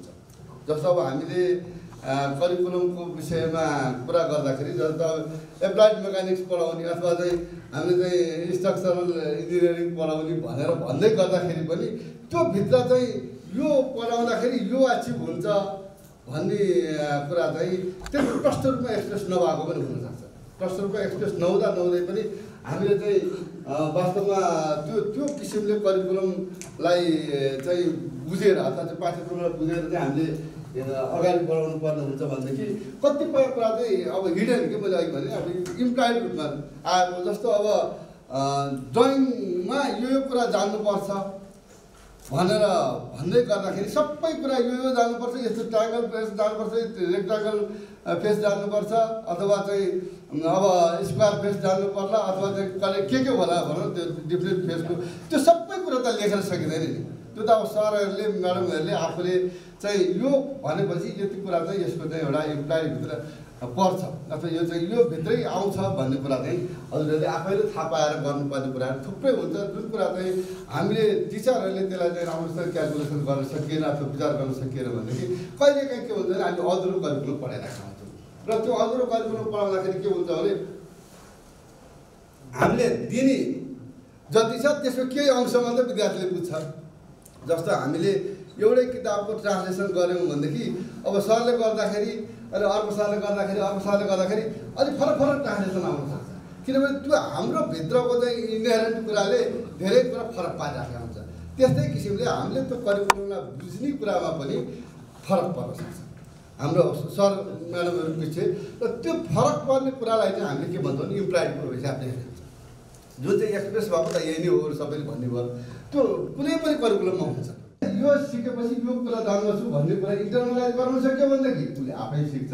तर के गर्छ भने हामीले इन्ड्युस गरिरहेको हुन्छ इन्ड्युस गरेको कुराले चाहिँ उसले कहिले पनि कस्तो हुन्छ भनेदेखि यो मलाई अलिकति प्रेसर परिरहेको छ इन्सिस्टेन्स भइरहेको छ त्यस कारणले मैले सिक्नु परेको छ भन्ने उसले अनुभूति गरेसम्म उसले राम्रोसँग सिक्नु सक्दैन। र अब मैले अब डेलिभर करिकुलम भन्दा भन्दै चाहिँ अब इभ्यालुएटेड करिकुलम अब के के चाहिँ जाँच हुन्छ त? जाँचमा जे आउँछ त्यही कुरा पढ्छ विद्यार्थीले फेरि। किनभने त यहाँ हाम्रो सर स्पेसिफिकेसन ग्रिडको कुरा राख्नुभएको थियो। स्पेसिफिकेसन ग्रिडमा यो कुरा सोधिन्छ। यो यो यसमा यस्तो क्वेसन आउँछ यति नम्बरको आउँछ यसमा यस्तो क्वेसन आउँछ यति नम्बरको आउँछ भनेर स्पेसिफिकेसन ग्रिडले भन्छ। त्यो स्पेसिफिकेसन ग्रिडले भन्ने कुरामा हामीले लिमिट गरिदियो भने यो करिकुलम जतिसुकै लेखे पनि आज त्यो क्वेसन गर्छ विद्यार्थी पढ्दै पढ्दैन। त्यस कारण विद्यार्थीले पढ्ने कुरालाई चाहिँ जहिले पनि वाइडेन गर्नुपर्छ। हामीले चाहिँ कहिले काहीँ कस्तो गर्छौँ भने हामीले सामग्री दिएपछि सम्झिने त्योभन्दा अझ कम हुन्छ। जहिले पनि अब हामीले भनेको कुरा थुप्रै कुरा भनिराखेका हुन्छौँ तर भनिसकेपछि हामी बाटोमा हिँडिराखेका हुन्छौँ। तर हिँडिराखे पनि बाटोमा थुप्रै कुरा देखाएको हुन्छ तर हामीले इन्ट्रेस्ट लागेको कुरा हामीले ग्रहण गर्छौँ। हामीलाई यो कुरा देख्यो भने याद हुन्छ। न त कति देखाएको हुन्छ त्यो यादै हुँदैन कति कुरा हामीले सुनिरहेको हुन्छ मैले यहाँ हजुरसँग कुरा गरिरहेको छु। अब मैले भनेको कुरा हजुरलाई इन्ट्रेस्ट लाग्यो नि ग्रहण गर्नु तपाईँले नत्र भने के हुन्छ कति सुन्यो भयो। कानले सुन्यो कता गयो कानभित्रै बाहिर निस्क्यो त्यो चाहिँ वास्तव भित्र दिमागमा र चाहिँ दिलमा पुगेन। त्यस हिसाबले जानु भएको हुनाले evaluated curriculum is very important किनभने के इभ्यालुएसन हुन्छ कसरी जाँच हुन्छ भन्ने कुरा इम्पोर्टेन्ट भएको हुनाले नै हामीले पटक पटक हाम्रो साथीहरूसँग जोसँग भेट हुँदाखेरि अस्ति पनि हामीले सानो बुक गरेका थियौँ। के छ भन्दाखेरि हामीले चाहिँ यो यो कुरा इभ्यालुएसन हुन्छ भन्ने कुरा विद्यार्थीलाई अनुभूति गराउन सक्यौँ भने विद्यार्थीले अलिकति बढी मिहिनेत गर्छ। त्यसै कारणले इन्टरनल इभ्यालुएसनको धेरै ठुलो महत्त्व छ। हुन त अब हामी कहाँ के भयो भने यहाँ सर हामी कुरा गर्दाखेरि कहिले कस्तो भयो भने होइन अब पच्चिस पर्सेन्ट मात्रै हो। अब हुन त साठी पर्सेन्ट पनि ड्रइङ पनि छ। ड्रइङ जस्तो कति विषयमा अलिकति पचास पनि छ साठी पनि भएको छ। तैपनि के हो भनेदेखि हामीले त्यो भएको हामीसँग जे छ नि हामीले अब यहाँ सरस्वतीको कुरा हुँदाखेरि हाम्रो त आउटडेटेड करिकुलम छ। अब हामी अझ पूर्वाञ्चलको करिकुलम अब त झन् आउटडेटेड छ साँच्ची कुरा गरेको किन टाउ टियुको करिकुलम त झन् वर्ल्ड हो नि त। झन् वर्ल्ड भएपछि एभ्री डे नयाँ कुरा आइरहेको छ। अब गएको वर्ष चाहिँ अब अब भुइँचालो आयो भुइँचालो आइसकेपछि नयाँ नयाँ कुराहरू जियोलोजिकल पोइन्ट अफ भ्यूले के हेर्नुपर्ने इन्जिनियरहरूले अथवा चाहिँ आर्किटेक्चरल पोइन्ट अफ भ्यूले कस्तो गर्दा राम्रो हुने हो? किन राम्रो पार्ने भन्दा भन्दै बरु बक्स भयो भने बलियो बक्स टाइपको भयो भने बलियो हुन्छ। भन्ने खालको कुराहरू आइसकेको छ अहिले। त्यस्तै चाहिँ अब तपाईँको civil engineering structural point of भ्यूले के गर्नुपर्ने हो भन्ने कुरा पनि नयाँ किसिमको चाहिँ अब हामीले अब एभेन्युजहरू अहिले खुलेर गएको छ। अथवा नयाँ होराइजनहरू देखा परेको छ। त्यो त्यो कुरालाई हामीले चाहिँ अब हाम्रो उसमा करिकुलममा राख्न सकिसकेको पनि छैन अहिले। राख्न सकेन भने छोड्नु त भएन हो त जान सक्छ। त्यस कारणले त्यो कुराहरू इम्प्लाइड रूपमा आउँछ मैले अघि पनि हजुरहरू त्यही विवरण गरे हो। र त्यस किसिमले गरिसकेपछि अब अचिभ करिकुलम चाहिँ के हो? किनभने अब हामीले चाहिँ यति सबै गरेर विद्यार्थीले के सिकेको कुरा द्याट इज भेरी इम्पोर्टेन्ट किनभने तपाईँ हामीले जहाँ चाहिँ लिउँ उसले हन्ड्रेड हन्ड्रेडै नम्बर ल्याइदियो भने उसले जानेको छैन भने त बाहिर गएर त सेल त हुँदैन मार्केटमा सेल ल्याउनु हुँदैन जानै पऱ्यो। त्यो जाने कुरा चाहिँ त्यत्तिकै इम्पोर्टेन्ट भएको हुनाले त्यसलाई चाहिँ एचिभ करिकुलम भनेर एक सिक्किमले हो त अब ठ्याक्कै अब यो चाहिँ थ्योरिटिकल डेफिनेसन पनि होइन। मैले भनेको पनि अघि सरले एकदमै प्र्याक्टिकल कुरा भनेर भनिराख्नु भएको थियो। मैले चाहिँ अलिक फरक ठाउँमा गएँ भन्ने चाहिँ जस्तो पनि लाग्ला होइन तापनि अलिकति यसलाई यसो कन्टेक्चुअल हिसाबले हेरौँ भनेर ल्याएको हो मैले। अब यसमा चाहिँ के छ भनेदेखि अब यो खास गरेर चाहिँ यो उसको चाहिँ एजुकेसनको अब्जेक्टिभ भनेको दुईवटा छ कि एउटा चाहिँ कस्तो हो भन्नुहुन्छ भने विद्यार्थीको चाहिँ अब हुन त हामीलाई के लाग्छ भने विद्यार्थीले जान्ने कुरा ठुलो कुरा हो उसले नलेज कति लियो अथवा चाहिँ स्किल्स कति लियो अथवा चाहिँ उसको एप्टिच्युडमा अथवा चाहिँ बिहेभियरमा के फरक पऱ्यो भन्ने एउटा महत्त्वपूर्ण कुरा हुन्छ तर त्यति हुँदा हुँदै पनि के हो भनेदेखि सोसाइटीमा विद्यार्थी मतलब हाम्रो विद्यार्थीलाई अथवा सोसल एउटा एउटा चाहिँ राम्रो सिटिजन बनेर गएको भए त्यो पनि त्यत्तिकै भ्या भ्यालुएबल भएको हुनाले वास्तव एजुकेसनको मेन उद्देश्य नै वास्तव त्यो भएको हुँदैन र उसलाई एउटा भ्यालु चाहिँ जुन चाहिँ एउटा के भनेदेखि भ्यालु चाहिँ हामीले राम्रो भ्यालु सिकाउन सक्यौँ भनेदेखि अब हामीले पढाउने एउटा कुरा हो तर त्यत्तिकै भ्यालु सिकाउने त्यत्तिकै कुरा अब किन उसको नलेज स्किल्स आउनुपर्ने त कुरा सधैँ छ। अलि अटोक्राटिक टाइपको स्ट्राटेजी जुन चाहिँ हाम्रो अलि अलि पर- परम्परागत हिसाबले जुन किसिमको हामीले चलिरहेको छ कता कता हामीले जहाँ हेर्दा हेर्दै पनि राम्रो गर्छ भनेर भनि पनि राखेका हुन्छौँ तर फेरि के भएको छ भनेदेखि फेरि हामी चाहिँ त्यही बाटोमा हिँड्या हो कि। अब अहिले अहिले के देखिन्छ सरहरूको म त अनुभव अझ बढी छ। किन हरेक कलेजहरूमा गयो स्कुलमा गयो हामीले पनि त्यही थियो। नोट अब नोट लेखाएर ल्याइदिएन भने पनि विद्यार्थी पनि त्यो नोट नलेखेसम्म नलेखाइदिएसम्म उसले पढ्यो भने म अनुभूति लगाइदिएँ नोटसम्म लेख्यो भने त नोट त लेख्छ नि। न त नोटै नलेख्यो भने त के हो भने उसले टिचरले बोल्यो बोल्यो विद्यार्थीले कति सिक्यो अत पत्तै छैन किनभने त्यसमा चाहिँ उसले केयरै नगरेको अवस्था पनि छ। यहाँ नेपालमा पन्ध्र सोह्र वर्ष मैले पढेर अनि बाहिर पढ्ने एउटा मौका पाएको अब यहाँ त्यत्रो वर्ष पढ्दाखेरि नम्बर पनि राम्रै आएको थियो। अब पढ्दाखेरि पनि अब चाहिँ हामीले अब किताबै चाहिँ पढ्ने हो भने त तर घोटिएर पढिन्थ्यो। अब यहाँ अरू साथीहरू जाने कि जस्तो पनि लागेको थियो। तर जब चाहिँ उता गएर पढ्न थालेपछि त मलाई त कस्तो लाग्यो भन्नुहुन्छ भने हामी त के पढेछौँ के पढेछौँ जस्तो लाग्यो कि। हामीले के पढेछौँ भने अब यहाँ म सरसित बेला बेला आने यो टुक्रे कुरा गर्छु कि म अब यहाँ हुन त अब स्कुलमा रे कलेजमा रेगुलर आउनु सकेको पनि छैन तर आएको बेला सरहरूसित बाहिर यति कुरा गर्दाखेरि अब त्यहाँ बाहिर पढ्दाखेरि कस्तो लाग्यो भनेदेखि अन द फर्स्ट डे के फर द फर्स्ट डे चाहिँ के भएन टिचरले भन्नुभयो सर चाहिँ हाम्रो मलाई पढाउने टिचरले भने होइन तिमीले आफ्नो देशको चाहिँ यो एजुकेसन सिस्टमको विषयमा प्रेजेन्ट गर्नुपर्छ म त एजुकेसन म्यानेजर भएर गएको थिएँ नि त्यसले एजुकेसन सिस्टमको विषयमा प्रेजेन्ट गर्नुपर्छ भन्नु सबै देशको लागि त्यस्तै भनिरहेछ भनेपछि हरेकले आफ्नो देशको प्रेजेन्टेसन गर्ने भने त आफ्नो देशको राम्रो गरी प्रेजेन्ट गर्नु पऱ्यो भनेपछि खोल्नु पऱ्यो नि त। किन उसलाई थाहा छ। आफूलाई थाहा नभएको कुरा उसले भनेको छैन कि? थाहा भएकै कुरा भनेको छ। त्यस कारणले चाहिँ थाहा भएकै कुरा भने हुनाले अब इन्करेजमेन्ट पनि भयो। फेरि आफ्नो देशको राम्रोसँग अरूको देखाउनु पनि परेको छ फेरि। त्यस कारणले पनि अब अब आफ्नो तयारी गरेर प्रेजेन्टेसन गरियो। र प्रेजेन्टेसन गर्दाखेरि के हो भने त्यो हामीले यहाँ बुझेको भन्दा पनि अझ अझ खोजेर नि अब त्यतिखेर अझ साइडको अलिक कमै थियो भयो तपाईँलाई अलिक पहिले पढेको तापनि के भने केही न केही खोज्ने कुराहरू भइहाल्छ डकुमेन्टेसन हुन्छ। र खोज्दै गरेर चाहिँ यो यो किसिमको नेपालको अवस्था छ कति त आफैलाई थाहा हुन्छ। त्यो प्रेजेन्टेसन गरिसकेपछि अनि एउटा एउटा चाहिँ लेभलमा चाहिँ के हो भने कन्फिडेन्स बिल्डअप पनि गर्न सकिने रहेछ। अथवा यस्तो हुँदो रहेछ भने आफ्नो देशको विषयमा राम्रो भन्नुपर्छ भन्ने एउटा फिलिङ पनि आयो। अब आइसकेपछि नेक्स्ट उसमा चाहिँ के भन्यो भने अब ठिक छ अब तिमीलाई इच्छा लागेको राम्रो कुरा। के चाहिँ सिक्ने इच्छा छ? किन करिकुलममा त छ तर घुमाएर करिकुलममा जोड्ने रहेछ उनीहरूले। हामी चाहिँ के गर्छौँ सिधै करिकुलममा पस्छौँ हेर्नुहोस्। तर उनीहरूले चाहिँ के गर्ने चाहिँ घुमाएर करिकुलममा पस्छौँ र अनि तिमीलाई इच्छा लागेको कुरा यो करिकुलमको बेसमा यो कुनै पनि उसमा चाहिँ के लेख्ने हो एसाइनमेन्ट एउटा छानिराख है अहिलेदेखि छानिराख चार पाँचवटा छान चार पाँचवटा छानेको मध्ये चाहिँ अनि कुनै एउटामा लेख्नुपर्छ। भनेर भनिदिएपछि अनि अब म अब के हुन्छ भने यो राम्रो होला कि यो सजिलो होला कि यसो गर्न कन्फिडेन्स होला कि यसबाट म अलिकति राम्रो प्रस्तुत गर्न सक्छु कि भनेर खोज्यो अनि अलिकति खोज्यो। अलिकति त्यसमा पनि अलिकति बुझ्यो नि अनि योभन्दा यो सही भयो। फेरि अर्को खोज्यो। अनि अर्को खोज्यो। गरिसकेपछि चार पाँचवटा अब तपाईँसँग पनि पढाउने कुरा त त्यही नै हो नि। हामीसँग पनि युनिट छ हामीसँग पनि अब सेक्सन्सहरू छ युनिटभित्रको पनि।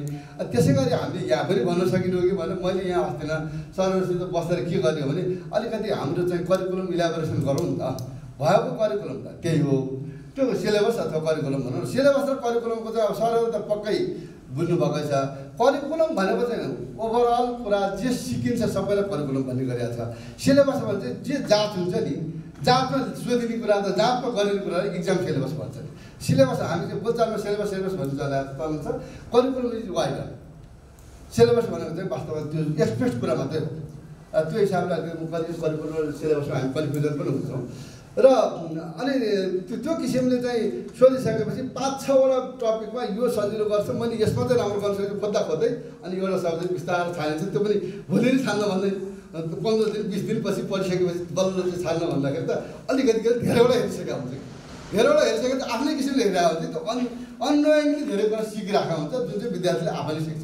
त्यो कुरा हामीले दिएको छैन हामी कहाँ के गर्छौँ भने हामी नोटैपट्टि मात्र बल गरिरहेको छौँ। कि नोटपट्टि बल गरेको कारणले के हो भने नोटै चाहिँ सबै कुरा हो कि भन्छ ऊ किताबै पढ्दैन अब यो उसमा खोज्यो भने साइडमै खोज्यो भने दुनियाँ छ किताबहरू त्यस्तै छ तर हामीले चाहिँ त्यो सबै कुरा भन्दा पनि नोटमा चाहिँ हामीले नोटको घेराभित्र हामीले क्याप्सुलेट गरिदियो कि क्याप्सुलेट गरिदियो त्यसले गर्दा अहिले कता कता अल्मलिएको छ अब यसमा त अब अब यो अरू भन्दै गर्दाखेरि अटोक्याटिकको चाहिँ हाम्रो अहिले चलेको चाहिँ कस्तो हो भनेदेखि अब किताब टेक्स्ट बुक मेथड जस्तो कि टेक्स्ट यो यो किताब छ फलानाको किताब पढ्नु भने अरू किताबबाट आउँदा हुँदैन। जहाँ पनि कि योभन्दा अर्कोबाट क्वेसन आयो भने ओहो यो त बाहिरबाट आयो भनिहाल्छ। जब करिकुलमको दायरा त त्यो वाइडर पनि हुनसक्छ। तैपनि विद्यार्थीलाई केही सजिलो त पक्कै पार्नुपर्छ। जस्तो अब क्वेसन एन्सर मेथडहरू भए अब यो अब टिचरले डेमोन्स्ट्रेसन गर्ने कुराहरू यसमा पार्ने गरेको छ। अब त्यस्तै अब मैले चाहिँ अब डेमोक्रेटिक स्ट्राटेजी भने यो चाहिँ लर्नर सेन्टर अब टिचर अहिले हामीले टिचर सेन्टरको कुरा गऱ्यौँ अलिकति स्टुडेन्ट सेन्टरको स्टुडेन्ट सेन्टरको अहिले मैले यहाँलाई निवेदन गरेको वास्तवमा स्टुडेन्ट सेन्टरको हिसाबले हेर्दाखेरि चाहिँ हामीले सकेसम्म स्टुडेन्टलाई एक्टिभ बनाउनु पर्छ। कसरी स्टुडेन्ट एक्टिभ हुन्छ कसरी उसले जानेको कुरा एक्सप्रेस गर्न सक्छ कसरी उसले चाहिँ अब होम र कलेजको बिचमा लिङ्क गर्न सक्छ अथवा उसको आफ्नो चाहिँ फिल्ड अफ वर्कसित रिलेट गर्न सक्छ अथवा आफ्नो चाहिँ प्रिभियस एक्सपिरियन्ससित लिङ्क गर्छ त्यो किसिमले हामीले कुनै न किसिमले जोड दिन सक्यौँ भनेदेखि त्यसले चाहिँ मलाई जहाँसम्म लाग्छ धेरै नै सजिलो पार्छ हामीले अहिले कस्तो भइराखेको छ भनेदेखि हामीले चाहिँ त्यो अब वान वे भएको काम गरेको हुनाले एकछिन छलफल गर्न पाइन्थ्यो यो विषयमा किनभनेदेखि यो विद्यार्थीहरूलाई चाहिँ उसले जानेको कुरा जस्तो मैले यहाँ अस्ति इलेबोरेसन गर्दाखेरि के कुरा गर्न खोजेको थिएँ भनेदेखि कुनै पनि विषयमा विद्यार्थीहरूसँग ग्रुप डिस्कसन गराउन सकिन्छ कि? किन कहिलेकाहीँ सिङ्गलबाट पनि हामीले गर्न सक्छौँ। अथवा चाहिँ ग्रुप डिस्कसन अब वान वे गर्ने भएदेखि एसाइनमेन्ट दिनु पऱ्यो होम एसाइनमेन्टको बाटोबाट अथवा तिमीले जानेको कुरा लेखेर ल्याएर प्रेजेन्टेसन गरेर भन्नु पऱ्यो अथवा चाहिँ त्यसमा चाहिँ विद्यार्थी अर्को ढाँचाले भन्नु प्यानल डिस्कसन गराउने दुई तिनजना चारजनालाई चाहिँ छानेर प्यानलमा राख्ने। आज फलानाको पालो भोलि फलानाको पालो। गर्थ्यो भनेदेखि हामीलाई के हुन्छ टिचरले बोलिराख्ने कुरा पनि कम भएको हो। किन विद्यार्थीले सिकेर आउँछ नि हामीले मात्रै हामीले सिकाएर दिएको भन्दा त उसले अझ बढी सिक्छ। अब हामीसँग चाहिँ विद्यार्थी भनौँ क्लासमा अब अडचालिसजना छन् अब त्यसमा चाहिँ ल भनौँ चालिसजना आउला सबैजना नआएको तर चालिसजना विद्यार्थीहरू चालिसजनाले खोजेर ल्याएको भने त हामी यता ल्याएको भने त नेचुरली बढी हुन्छ नि। यो खालि यसैको कन्टिन्युएसन छ। अब यसमा यसमा चाहिँ खास गरेर बेसिक चाहिँ के भने एक्सपेरिमेन्टेसन मतलब उसलाई एक्सपेरिमेन्ट गर्न दियो यो ठिक छ कि छैन भने उसले रियलाइज गर्न पाउँछ त्यो भएपछि र त्यसले चाहिँ धेरै सजिलो हुन्छ। अर्कोतिर चाहिँ त्यसमा डिस्कभरी मेथड प्रोजेक्ट मेथड लगायतको मेथडहरू चाहिँ प्रब्लम सोल्भिङ मेथड चाहिँ यसमा अप्लाई गर्नुपर्ने कुरा के भने लेक्चर भन्दा पनि विद्यार्थीलाई नै त्यो गर्ने अनि ग्रुपमा राखेर छलफल गराउने आफू पनि छलफलमा भाग लिने गऱ्यो भनेदेखि अलिक सजिलो हुन्छ कि भन्ने मेरो एउटा फिलिङ हो। पहिला त अब टिचिङ स्किलै चाहियो। अब स्किल त जे अब ठाउँमै स्किल्स भएन भने हामीलाई गर्न गाह्रो पनि हुन्छ। किन हामीसँग धेरै साथीहरू के हुनु छ भने अहिले भर्खर पनि यहाँ कुरा हो। अब सरले नै भन्नुभएको थियो।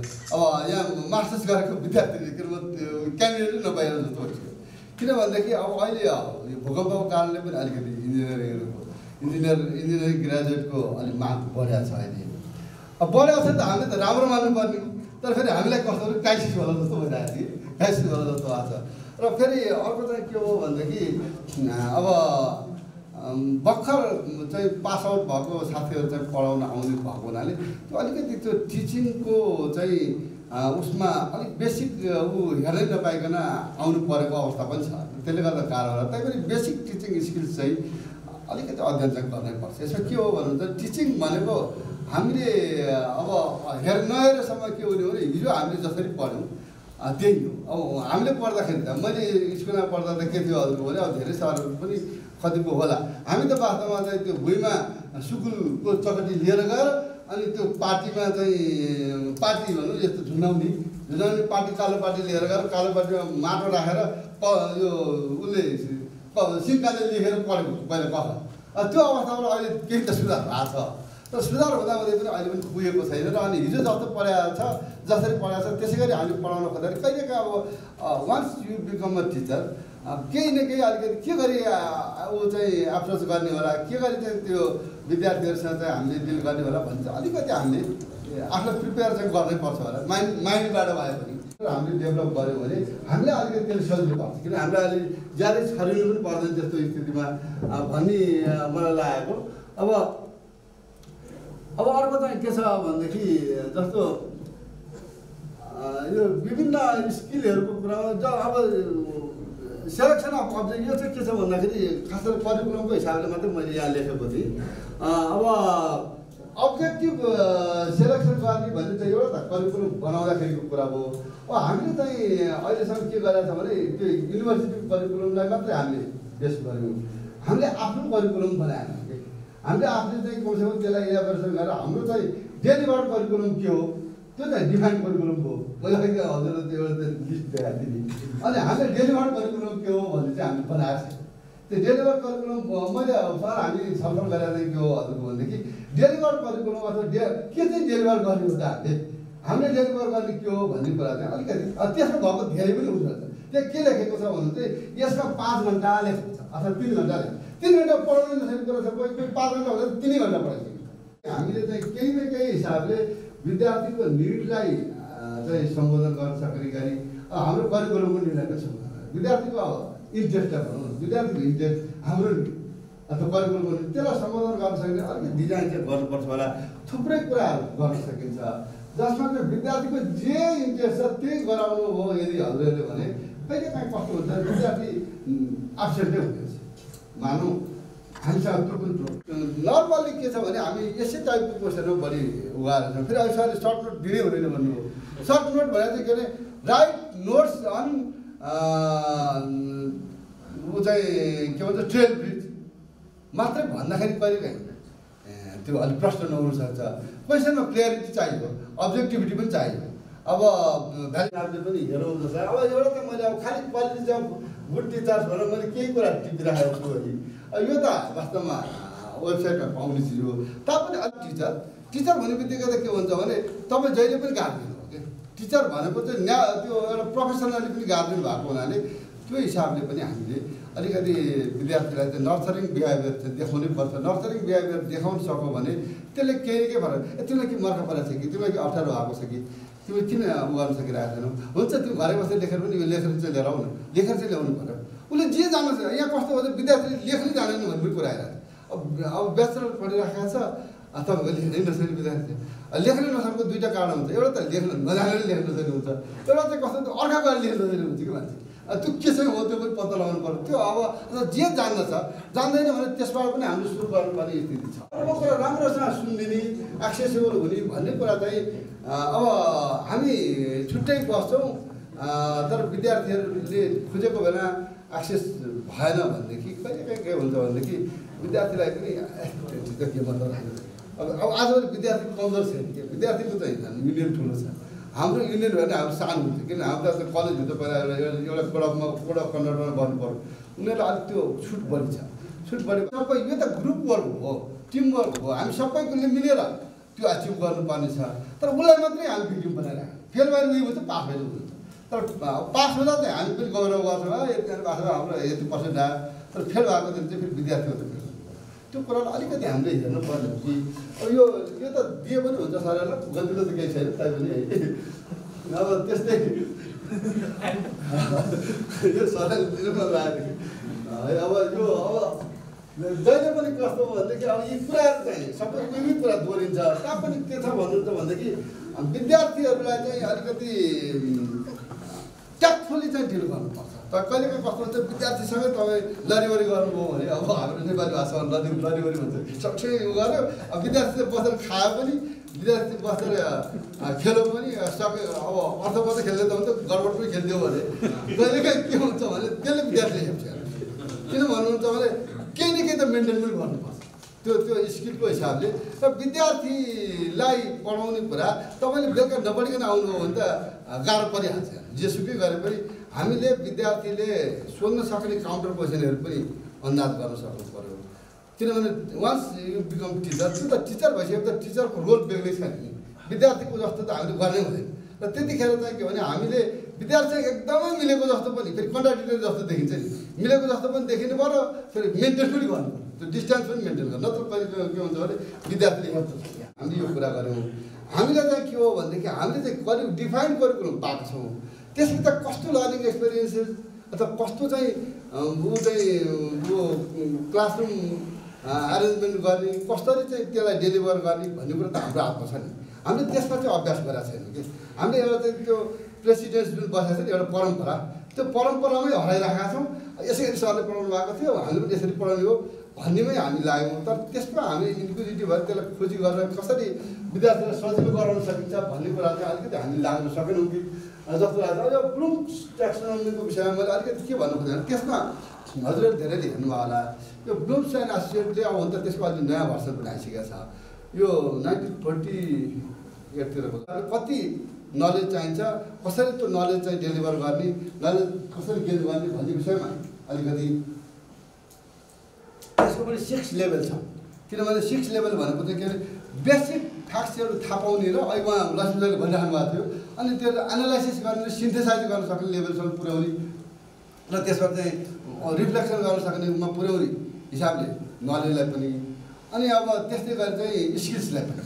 अब किन विद्यार्थीले त ड्रइङ गर्नुपर्ने हो त नलेजले त भएन नि। यसो गर्दा अब थर्मोमिटरले ज्वरो नाप्छ त भन्न सक्यो। तर जाँच्नु जानेन भने त थर्मोमिटर भएको के अर्थ यहाँ हाम्रो त्यस्तो भएको छ। यहाँ हाम्रो सरहरू थुप्रै हुनुहुन्छ अन्त नमान्नु होला। है अब हाम्रो सरहरू सबै हजुर हाम्रै सरहरू हो।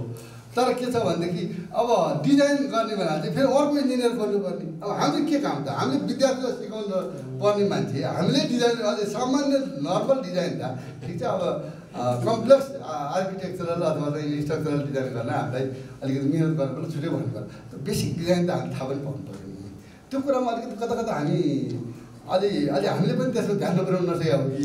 भन्ने पनि मलाई चाहिँ लागेको छ है अन्त नमान्नु होला। त्यो विषयमा मैले फेरि कसैलाई दोष लगाउनु खोजेको होइन। हामीले त्यसलाई अलि अनुभूति गर्ने हो कि? आफैलाई आफैलाई। भन्ने पनि देखिन्छ त्यो। अब अनि स्किल्सको कुरा भयो भने अर्को अफेक्टिभ डोमेन के हो एउटा अब्स्ट्राक्ट कुरा भने एउटा भाव? अब त्यो चाहिँ एउटा अफेक्टिभ डोमेन हुन्छ कि? त्यसलाई चाहिँ कसरी ग्रहण गर्ने भन्ने विषयमा चाहिँ उसको पाँचवटा चाहिँ यो लेभल हाइरार्की दिएको छ। यो ब्लुम्स टेक्सोनोमी अलिकति हेर्नुभयो भने साइडमा भेटिहाल्छ। अब अब अलिकति खालि मैले चाहिँ केही कुरा चाहिँ थाहा पाउनु पर्ने भनेर मैले अलिक थोरै राखेको छु। अब लास्टै हो योभन्दा अलिक यसैको लिस्ट एउटा थोरै छ अब लिङ्केज बिट्विन एजुकेसन इन्स्टिट्युसन अथवा हाम्रो कलेज र फिल्ड अफ वर्क भनौँ न वर्ल्ड अफ वर्कमा लिङ्क गर्नुपर्ने त्यो लिङ्क गर्नलाई एकै फेरि जाँदाखेरि नजान्ने रहेछ अब त्यो कारणले हामीले बिच बिचमा जस्तो अब ती पुल छ ती रिभर ट्रेन्चिङ गरिराखेका छ ती रिभर इम्ब्याङ्कमेन्ट छ ती सडक बनाइराखेका छ ती भत्काएको एक वर्ष दुई वर्ष भइसक्यो। हामीले पढाइ पढाइ गरेर दुई समय दुई वर्ष त हाम्रो पढाइ छिरिरहेको छ किनकि हामीलाई कमी हो। त्यो समयलाई कसरी म्यानेज गर्ने भन्ने विषयमा छलफल गरियो भने हाम्रो ग्रेजुएटहरूलाई चाहिँ के छ भने अलिकति चाहिँ सोसल कम्पिटेन्सको हिसाबले चाहिँ हाम्रो ग्रेजुएटमा अलिकति समस्या पनि किन भन्नुहुन्छ भने अब यहाँ त हामी सिकेर जान्छौँ। तर अब त्यो डाइरेक्टर जेनरल अथवा चाहिँ चिफ चिफ इन्जिनियर भनौँ न अब अब कसै चिफ इन्जिनियर डाइरेक्टर अथवा त्यो मन्त्रालयको सचिव हुनुहुनेछ पनि त्यो बिईमा पढ्यो भने पर्दा केही गर्नै पर्दैन किन गर्नु पर्दैन त्यो त्यही डिजाइन गर्ने त्यही त्यतिमा मात्रै हामी अलमल्ली राखेका छौँ। हामीले त्यो च्यालेन्ज पनि लिनु परेन कि? हामीले रिसर्च गरेर नयाँ प्याटर्न त हामीले कसरी गरेको थियो नेपालको नेपालको प्याटर्न पनि हिँडेन नेपालीले इन्जिनियरिङमा प्याटर्न निकालेको कि अलिअलि त्यो उसले के अरे रोबोटिक्सले निकालेको अरे अरू कसैले निकालेको?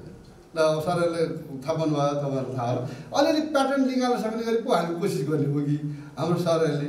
हुन त अब त्यो पाटामा दौडेर कसरी प्याटर्न निकाल्ने भन्ने पनि आखिरी प्याटर्न भयो त तपाईँले सधैँ जीवनभरि तपाईँको पुस्ता पुस्ताले तिर्छ नि कोका कोलाको कुनले विकास गर्दा त्यो हजुरबाले अहिलेसम्म तिरे तिरेछ हामीले त्यो होइन त्यो जहाँ मसला त कत्रो ठुलो कुरा तर तर त्यो मसला बनाउने कुरा हामीले बना हामी पनि त्यस्तै के मसला निकाल्न सक्छौँ सर्वप्रथम त अब यो हाम्रो टिचिङ मेथोडोलोजी ट्रेनिङ प्रोग्राममा आइदिनु भएको र रिसोर्स पर्सनको रूपमा पनि प्रेजेन्टेसन गरिदिनु भएकोमा यस कलेजका चेयरम्यान श्री जनार्दन नेपालज्यूलाई हार्दिक धन्यवाद ज्ञापन गर्दछु त्यस्तै अब यस कलेजका म्यानेजिङ डाइरेक्टर श्री गोपकृष्ण नेउपानेज्यू जो चाहिँ यो पुरा म्यानेजमेन्टमा चाहिँ लागिरहनु भएको छ।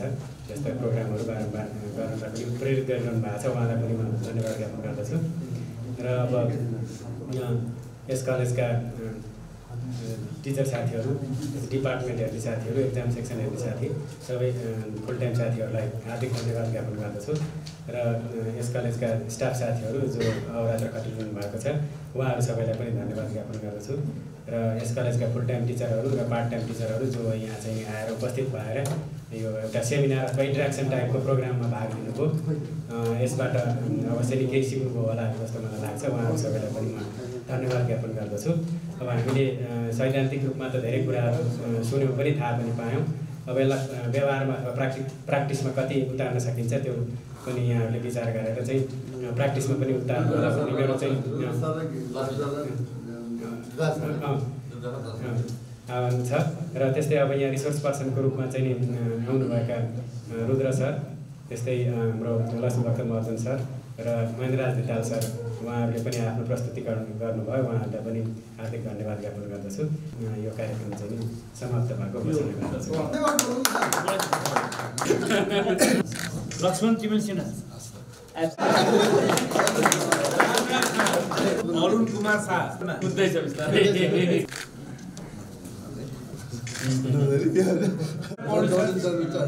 अधिकारी सर